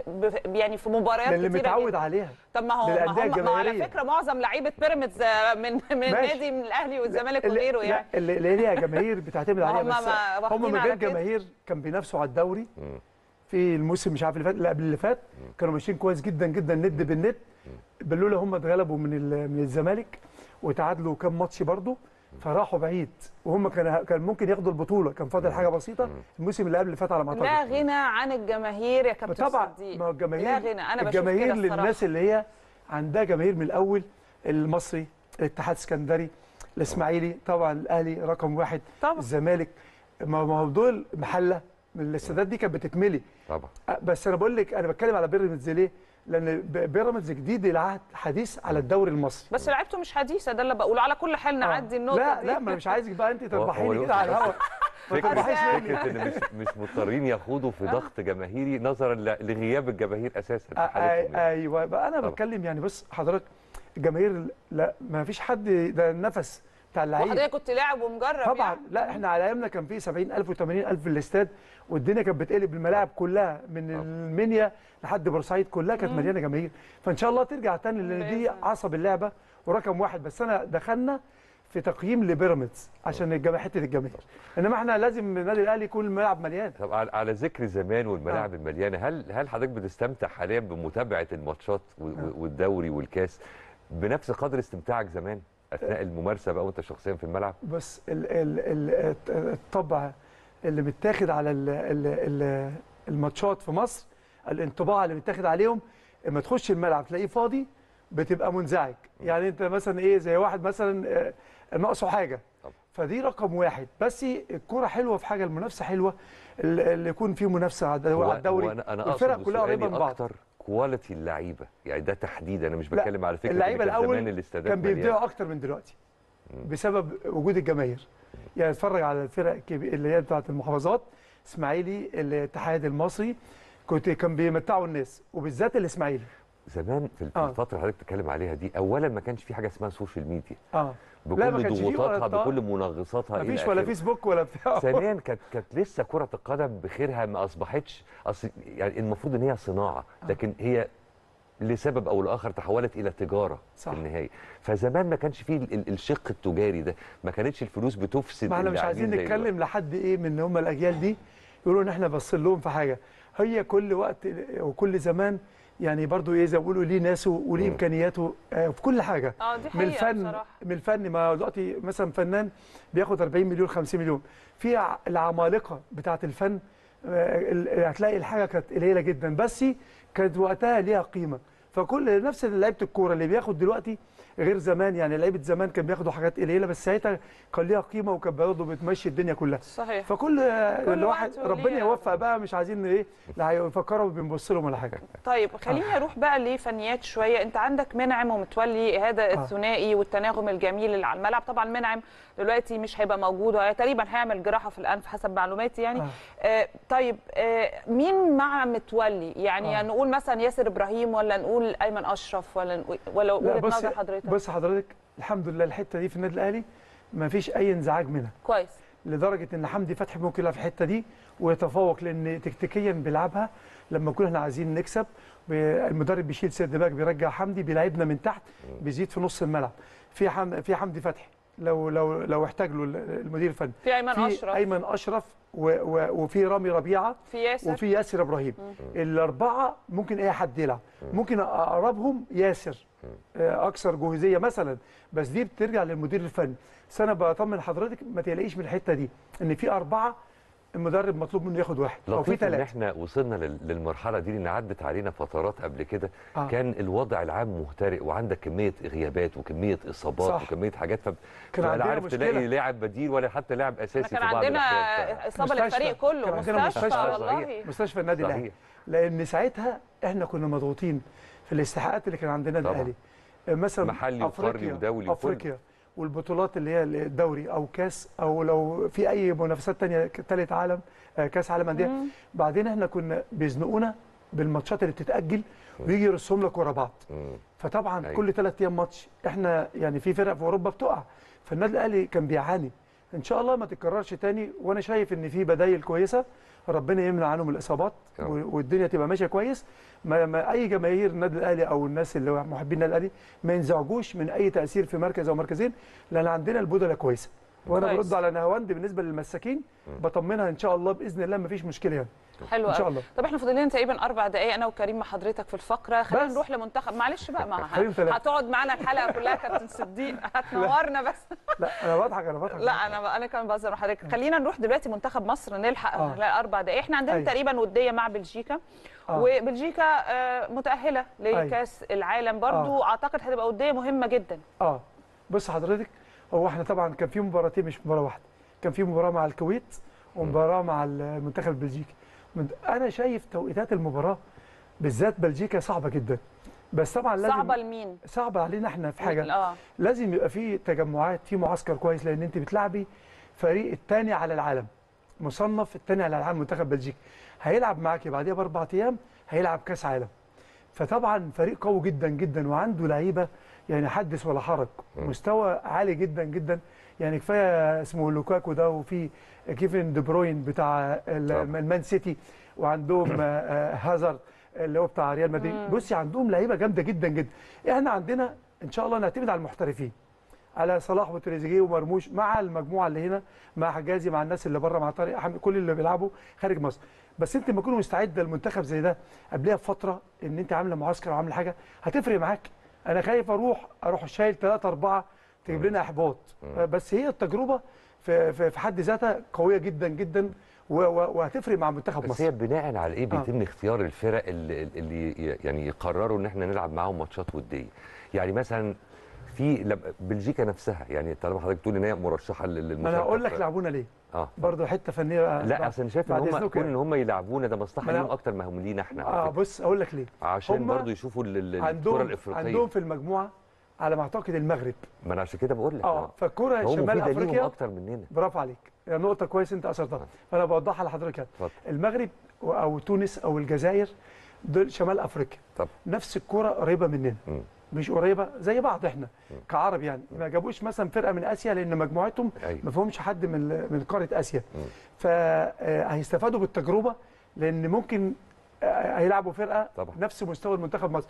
فيشوف اللعيب ده اللي بيلعب قصاده إمكانياته الفنية آه، البدنية فكره آه، آه، الحاجات دي كلها هيطبقها مع المنتخب يلعب معاه يبقى خد إحساس. زي ما أنا مثلا ما ينفعش أروح العب مثلا إيه أروح ملاعب البرازيل على طول. أنا كنادي لا.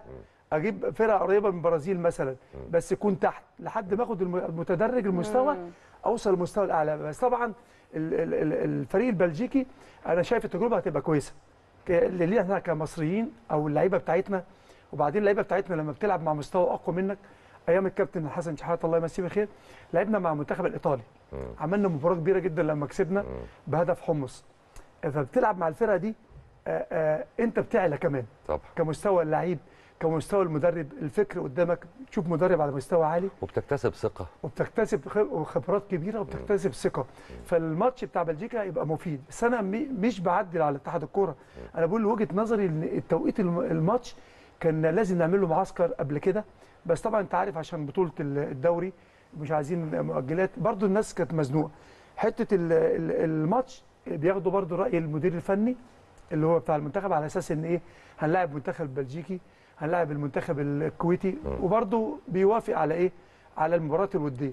هو كل المحترفين بتوعنا هيشاركوا تقريبا ولا لأ؟ آه أكيد أكيد إن شاء الله لأن حضرتك هم هياخدوا أجازة آه، اللي هم في البطولات بره في سواء دوري الأبطال الأوروبية. أو الدوريات الأوروبية عشان كل ال- المنتخبات بتاعتهم راح كأس العالم. آه. فحتى المنتخب البلجيكي هيختم معاكي بالمباراة الودية عشان يلعب في كأس العالم في قطر.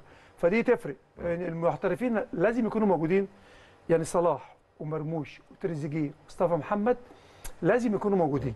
عندهم احتكاكات النني. قوية بره ها؟ والنني. آه والنني. أنا آسف أنا نسيت النني لا عادي على فكرة الموضوع بسيط يا آه. كابتن لا لا لا لا لا النني لا, ممكن يزعل جدا. لا بتفرق معاه جدا. بص حضرتك لا والله النني يعني مش النني مقصوده يعني. لا مش الاعلام مش متسلط عليه لا، زي إزاي؟ صلاح. لا لا أنا بقول لك صراحة يعني يا عيني كان بيشتكي قبل كده. وارد يعني في وسط الكلام آه بس آه لا. عشان تقدير تقدير فيلينجز يعني. آه تقدير للنني يعني. طبعا. يكون موجود آه لو هو مش مصاب كان مصاب الفترة اللي فاتت لو موجود مع حجازي مع طارق حامد الناس اللي هم في مصر هنا الم- المحليين لعيبة كويسة جدا جدا وفورمة عالية جدا طبعا بس في مشكلة عبد المنعم بعيد في يعني مشكلة دايما صغيرة وابتدينا نشوف لها انعكاسات مش لطيفة قوي في الفترة الأخيرة فكرة إن لعيبة المنتخب واللي هم بطبيعة الحال قوامهم الأكبر من لعيبة النادي الأهلي آه. ونادي الزمالك آه. اللي هم كمان إيه؟ يعني معظم تشكيل المنتخب. كويس. مش معظم على الأقل نسبة كبيرة من آه. اللعيبة اللي في المنتخب. هم لعيبة النادي الأهلي ونادي آه الزمالك. آه. فكرة إن ما يبقاش فيه مساحة وقت كافية قوي إن هم يلتقوا في معسكرات ما أكيد الموضوع ده برضو بيأثر على الأداء في الماتشات. آه، بص هو الهيكل الأساسي بتاع المنتخب معروف. وإحنا على المحترفين دول ظهروا فجأة. إحنا ما كانش عندنا محترفين. مع الكابتن حسن شحاتة كان في زيدان بس. بس كان في فترة تجمعات كويسة. فترة التجمع يا كابتن بتفرق. طبعا. بتعمل طبعا. آه، آه، آه، هارموني وانسجام. وانضباطيه اللي كله تركيز طبعا. وبتعمل ألفة والانسجام اللي حضرتك تفضلت بيه.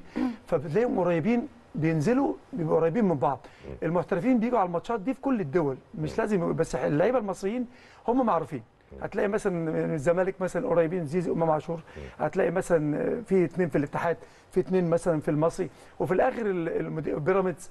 فالمدرب بيجي في الآخر بيختار الهيكل الأساسي معروف زي آه، آه، كروش. كان الفرقة معروف بيخش عنصر أو عنصرين أو ثلاثة مع مع الفرقة. حتة الانسجام بيجي بقى لأنه برضه هم قريبين من بعض. والكابتن محمود الخطيب يرجع لنا بألف سلامة. واتمنى الشفاء. العاجل. لأخويا وصديقي وزميل الملاعب الكابتن محمود صالح. آه، إن شاء الله يقوم بالسلامة بإذن الله في في المحنة اللي هو فيها. في المرض يعني. يا رب إن شاء الله نورتنا يا كابتن صديق. هنروح يخليك. فاصل مع حضراتكم وهنرجع بس كريم هو اللي هيرجع وهيكون مع الفقرة الطبية. فاصل ونرجع نكمل.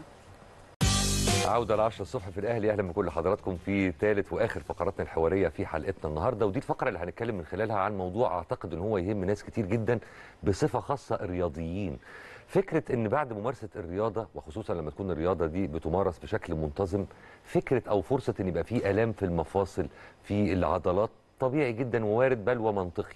لكن لما الألم يكون شديد زيادة ويكون مستمر لفترات زمنية طويلة عن المعتاد لا يبقى هنا معناه إن في أكيد مشكلة ما. ضرر ما في المفصل آه، تمزق في الأربطة مشكلة ما في الغضاريف. فخلونا نتكلم عن يعني هذا الأمر وأهميته بالنسبة للرياضيين بصفة خاصة وده اللي هنتكلم فيه مع ضيفنا اللي منورنا في حلقتنا النهارده دكتور باهر السعيد المستشار العلمي لشركة باكس فارما. اللي بنسعد دايما أكيد بوجوده معانا في البرنامج أهلا. بحضرتك فندم صباح الفل عليك كريم أخبار حضرتك صباح إيه، تمام؟ الفل ومبروك على جماهير النادي الأهلي منور. الدنيا يا فندم. أهلا بحضرتك. بتهيألي إلى حد كبير عادي مع ممارسة الرياضة يكون في مشاكل أو إحساس بالألم في المفاصل وخصوصا الرياضات التقيلة أو اللي بتعتمد على أوزان زي كمال الأجسام ورفع الأثقال إلى آخره شيء لكن. إمتى الموضوع يبتدي يكون مقلق؟ هو طبيعي جدا حتة الألم والإحساس بالألم حتى أنت لو مش متعود تعمل رياضة حتى ورحت الجيم لأول مرة بتلاقي فيه تكسير في عظمك طبعا. ألم كلام من ده واضح جدا طبعا. برضو ممارسة الرياضة بشكل خاطئ أحيانا أو إنك بتحمل على نفسك حمل زيادة آه، في الرياضات اللي حضرتك ذكرتها طبعا. آه، رفع الأثقال آه، أو أي رياضة بتحمل جامد على العظام والعضلات والمفاصل لما بتيجي على نفسك وتاخد حمل انت ما تقدرش عليه أو جسمك مش بتحمله طبيعي بيحصل الالام آه، بيحصل تعب في المفاصل مع الوقت بيحصل خشونة في المفاصل وخاصة الرياضات اللي بيحصل فيها تحميل على الركبة بزيادة. طبعا. آه، زي كرة القدم طبعا. آه، زي التنس ورفع الأثقال. ورفع الأثقال. في رياضات كتير بيبقى التحميل على الركبة بيؤدي مع الوقت لخشونة الركبة. طبعا آه، آه، بن- يبقى في مشكلة لما يكون الألم مستمر مش قادر تتحمله آه، الألم آه، بتصحى من النوم تعبان من الألم آه، يبدأ بقى صوت الطرقعة والفرقعة في الركبة آه، آه، بيحصل ألم مش قادر تطلع السلم بيحصل مشاكل بتعيق الحركة بتاعتك أو بتعيقك عن ممارسة الرياضة. ساعتها طبعا لازم نلجأ للطبيب في الحالة دي. تمام. طب هل يعني بالنسبة للناس اللي بتمارس الرياضات دي تحديدا اللي حضرتك تفضلت بيها هل في إجراءات وقائية أو يعني إنجاز التعبير برضو احترازية لازم يراعوها وهم بيحملوا على المفاصل؟ تمام. أول حاجة طبعا أكيد وأكيد الرياضيين لازم يلتزموا بده إنك آه، في الرياضة تبقى بالتدريج. ما تيجي تشيل حمل ما تروحش تشيل حمل تقيل مرة واحدة. طبعا. لما تيجي تعمل آه، آه، ال- التمرين بتاعك لازم يبقى آه،. في إحماء الأول. طبعا. لازم تعتمد كمان على التغذية السليمة النوم الكافي. إنك تاخد نومك ساعات النوم بتاعتك تبقى مناسبة. برضو كمان تشوف النقص عندك وتكمله. يعني مش معقوله يكون رياضي وبيعمل رياضات عنيفة ويبقى عنده نقص كالسيوم وفيتامين د مثلا. آه، لازم تهتم بالمعادن والمكملات الغذائية حتى اللي تديك آه، باور تديك طاقة تحافظ على عظامك وعضلاتك. طب إحنا لغاية دلوقتي بنتكلم على الرياضيين. تعالى ولو للحظات بعد إذن حضرتك نتكلم عن الأشخاص العاديين اللي مش بيمارسوا رياضة بل واللي منهم بيعاني من السمنة. وفي تمام. بعض الأحيان السمنة المفرطة بكل وزنها وتحملها على الركب بصفة خاصة برضو الناس دي تتصرف إزاي هي دي السبب الرئيسي للخشونة هو فعلا زيادة الوزن هو ده السبب ال- أهم سبب من أسباب الخشونة هي فعلا زيادة الوزن عشان. كده آه، آه، أنت قبل ما تعالج ال- الخشونة المفروض تعالج الوزن إزاي الأساسية تنظم طبعاً. نفسك تنظم أكلك تعمل نظام غذائي صارم عشان تنزل الوزن قبل ما ما تحاول تعالج الخشونة طبعا. طيب بشكل عام بقى يعني سواء للرياضي أو لغير الرياضي هل في آه، أدوية معينة علاجات معينة ينصح بيها لعلاج المشاكل اللي إحنا بنتكلم عنها دي آه، بالنسبة لخشونة الركبة بالتحديد. آه، في مكملات غذائية موجودة في السوق بت بتدي وقاية من من مشاكل الركبة يعني أنت لو بتمارس رياضة مثلا والرياضة دي مرشح ان انت يجيلك منها خشونة ركبة بتحمل على ركبتك كتير ليه ما تاخدش مثلا حاجة زي الجلوكوزامين أو الكوندروتين دي مواد طبيعية. الجلوكوزامين مثلا هو أصلا جسمنا أو الركبة بتاعتنا من ضمن مكوناتها الجلوكوزامين. في حاجة بتدي ليونة للركبة. فممكن طبعا مش هتعرف تجيبها من الأكل لأن هي بتيجي من ال ال الأسماك القشرية. فصعب إنك تجيبها من الأكل. فطبعا لازم تاخدها كمكمل غذائي يبقى تدور على مكمل غذائي يحتوي على الجلوكوزامين يحتوي على أنا الكوندروتين ما كنتش متخيل إن جزء من الحل جاي من مكملات غذائية. أنا كنت فاكر ان إن لازم يبقى في علاج موضعي مش دهانات من خلال مكمل غذائي. الدهان يعني بيبقى مسكن تسكين آه، للألم. بالظبط. تسكين. إنما إحنا بنتكلم على حاجة تدي ليونة للركبة. ليونه عشان السائل اللي حوالين الركبة آه، اللي تضرر. الركبة لما بيحصل فيها خشونة عاملة زي المفصلة بتاع الباب اللي صدع آه طبعا طبعا. آه، فمع الوقت مع الضغط عليها مع القعدة الغلط مع التمرين الغلط آه، مع كبر السن طبيعي أكيد. لازم بيحصل إن إن المرونة دي بتقل. فإحنا بندي حاجة كمكمل غذائي تحاول آه، تخلي المرونة دي ترجع تاني. مادة الجلوكوزامين الهيالورونيك الكوندروتين الحاجات دي كلها بتدي ليونة للمفصل بحيث إن يتحرك بشكل طبيعي. طيب هل في فئة عمرية معينة لازم تبتدي تاخد بالها سواء بيمارسوا رياضة أو لأ يبتدوا ياخدوا بالهم ويركزوا مع المفاصل ومع الغضاريف ومع النوع ده من الأمور؟ هو للأسف إحنا كان دايما عندنا اعتقاد إن كبار السن بس اللي بيجي لهم خشونه. لأ هو المفروض الخشونة أي سن معرض لو آه، مارست آه، آه، تمارينك أو مارست حياتك بشكل خاطئ. قعدت قعده غلط آه، بتحمل على رجلك بتقفز مثلا قفزات شديدة مرة واحدة. فما فيش سن للخشونة آه، أو أو تعب المفاصل. أهم حاجة إنك آه، آه، تعمل آه، أو تحافظ عليها بالممارسة الصح للرياضة أو الممارسة الصح حتى في حياتك اليومية. تمام طب هل في كورس معين حضرتك تنصح بيه الناس اللي بتعاني من ال- المشاكل اللي إحنا بن- بنتكلم فيها؟ هو دلوقتي إحنا دايما بنشوف الناس دايما بتخاف من أدوية أو مكملات الخشونة لأن المستورد منها بيبقى مبالغ قوي في ثمنه. غالي جدا. طبعا. آه وإن دلوقتي- وجد في بعض الأحيان. آه دلوقتي في حاجات منتجات مصرية مميزة جدا سعرها على قد الإيد وفي نفس الوقت بكفاءة المستورد. بنفس الكفاءة والفعاليه يعني وفروا فلوسكم يا جماعة ما تجيبوش حاجات غالية قوي في السعر. لا في حاجات مصرية مميزة. يعني مثلا كمثال في منتج آه، آه، اسمه جوينت بيكس. المنتج ده آه، قوته خماسية يعني خمس مواد فعالة. الخمس مواد دولا بيقللوا ال ال الإحساس بالألم وبيدوا وقاية من مشاكل الخشونة. بشكل طبيعي آمن مكمل غذائي في الآخر أيوة. مفيش منه أضرار. آه، فيه ميزة جميلة جدا في مادتين يعتبروا بديل طبيعي للمسكنات. يعني الناس دايما بتخاف إنها أيوة. تاخد مسكنات عشان ما تأذيش الكلى ما تأذيش الكبد. و... لا في مادتين حاجات حاجات عشبية مستخلص آه، من الأناناس اللي هو البرومالين والجنجر اللي هو مستخلص الجنزبيل. الحاجات دي مضادات التهابات طبيعية جدا. يعني دايما إحنا بنتكلم عن الجنجر أو مستخلص الجنزبيل كمسكن طبيعي للألم. حاجة طبيعية خالص مفيش أي مشكلة بالعكس حتى ما بتأذيش المعدة ده هي مفيدة للمعدة. يعني حتى الناس اللي عندهم غثيان وإحساس بالقيء بياخدوا الجنجر لتقليل الإحساس بالقيء. فالجنجر ده ما بيتعبش المعدة وفي نفس الوقت مسكن طبيعي جدا للألم. البرومالين اللي هو من الأناناس مستخلص الأناناس البرومالين ده مضاد التهاب طبيعي للآلام. مع بقى الجلوكوزامين اللي هو بيدي مرونة أو ليونة للمفصل مع الكوندروتين وكمان آه، الهيالورونيك التركيبة الخماسية دي بتبني ال ال ال السائل أو أو تحرك المفصل بشكل طبيعي آه، جرعتها حبيتين كل يوم آه، بعد ال- الغداء. آه، الاستمرار عليها فترات طويلة مفيش مشكلة. آمنة لمعظم ال- ال- ال- الناس يعني مفيش منها أضرار. آه، هي طبعا موانع استعملها بس يعني لو واحدة حامل أو مرضع طبعا لازم بإشراف لكن غير كده الفئات العمرية كلها تقدر تتعامل مع مفيش أي مشكلة خالص آه، مأمونة جدا. الناس اللي عندها مشاكل في التهابات مثلا في جدار المعدة لا في جد... المريء لا جدار المعدة أنا مثلا لو حد عنده قرحة في المعدة مثلا. طبيعي لازم هياخد حاجة للمعدة معاها. ده أساسي. يعني مش معقول هيكون عنده قرحة في المعدة وياخد أي دواء حتى أي مكمل غذائي لازم ياخد حاجة للمعدة معاه.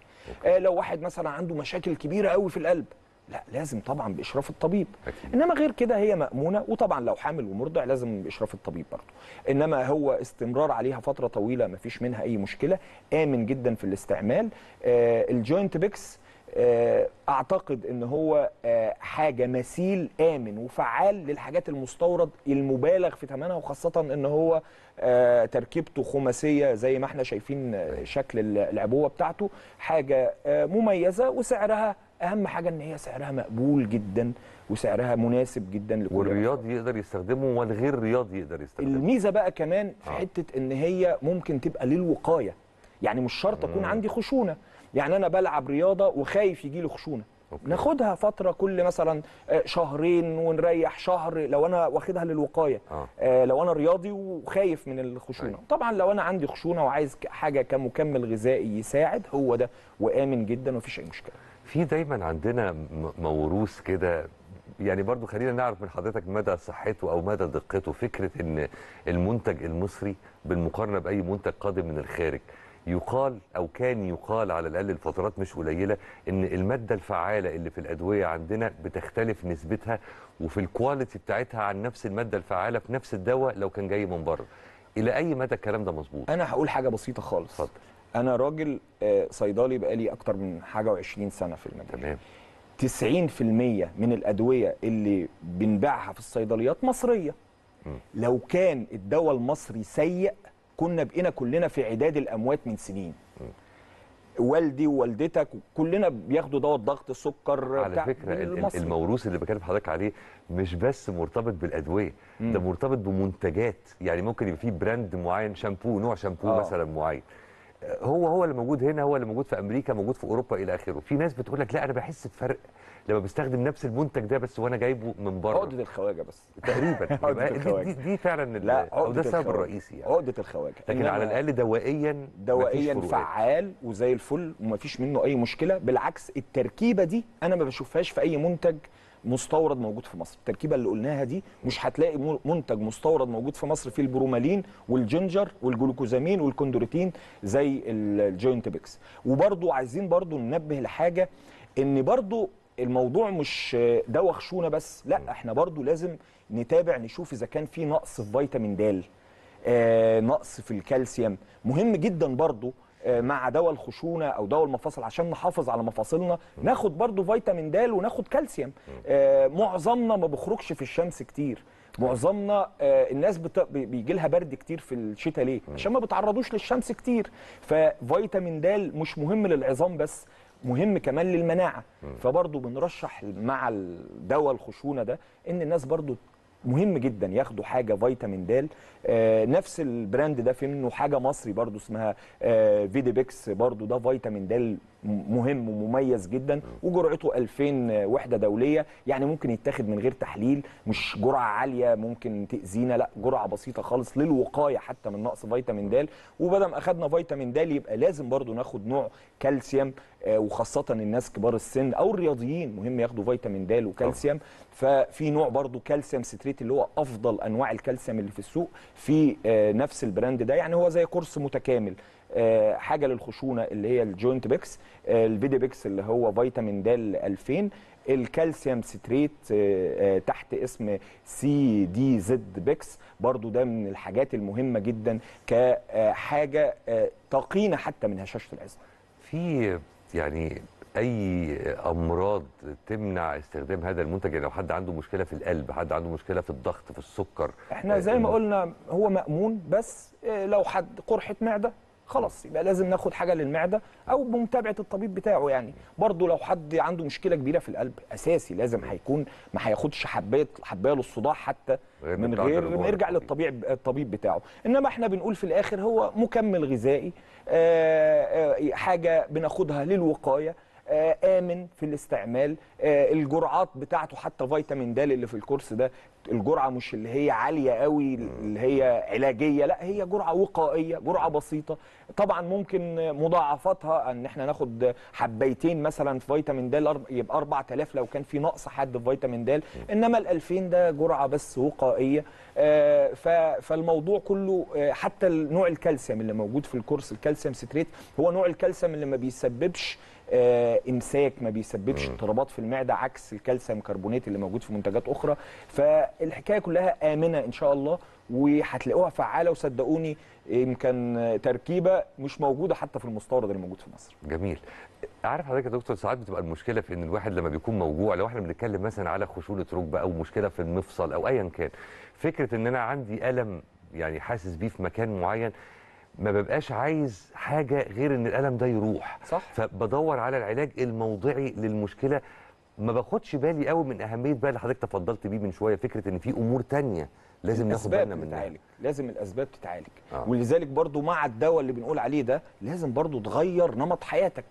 شوف الرياضة مثلا اللي انت بتلعبها بت... إيه الحمل اللي انت بتعمله بيعمل لك المشاكل دي تحاول تتجنبه.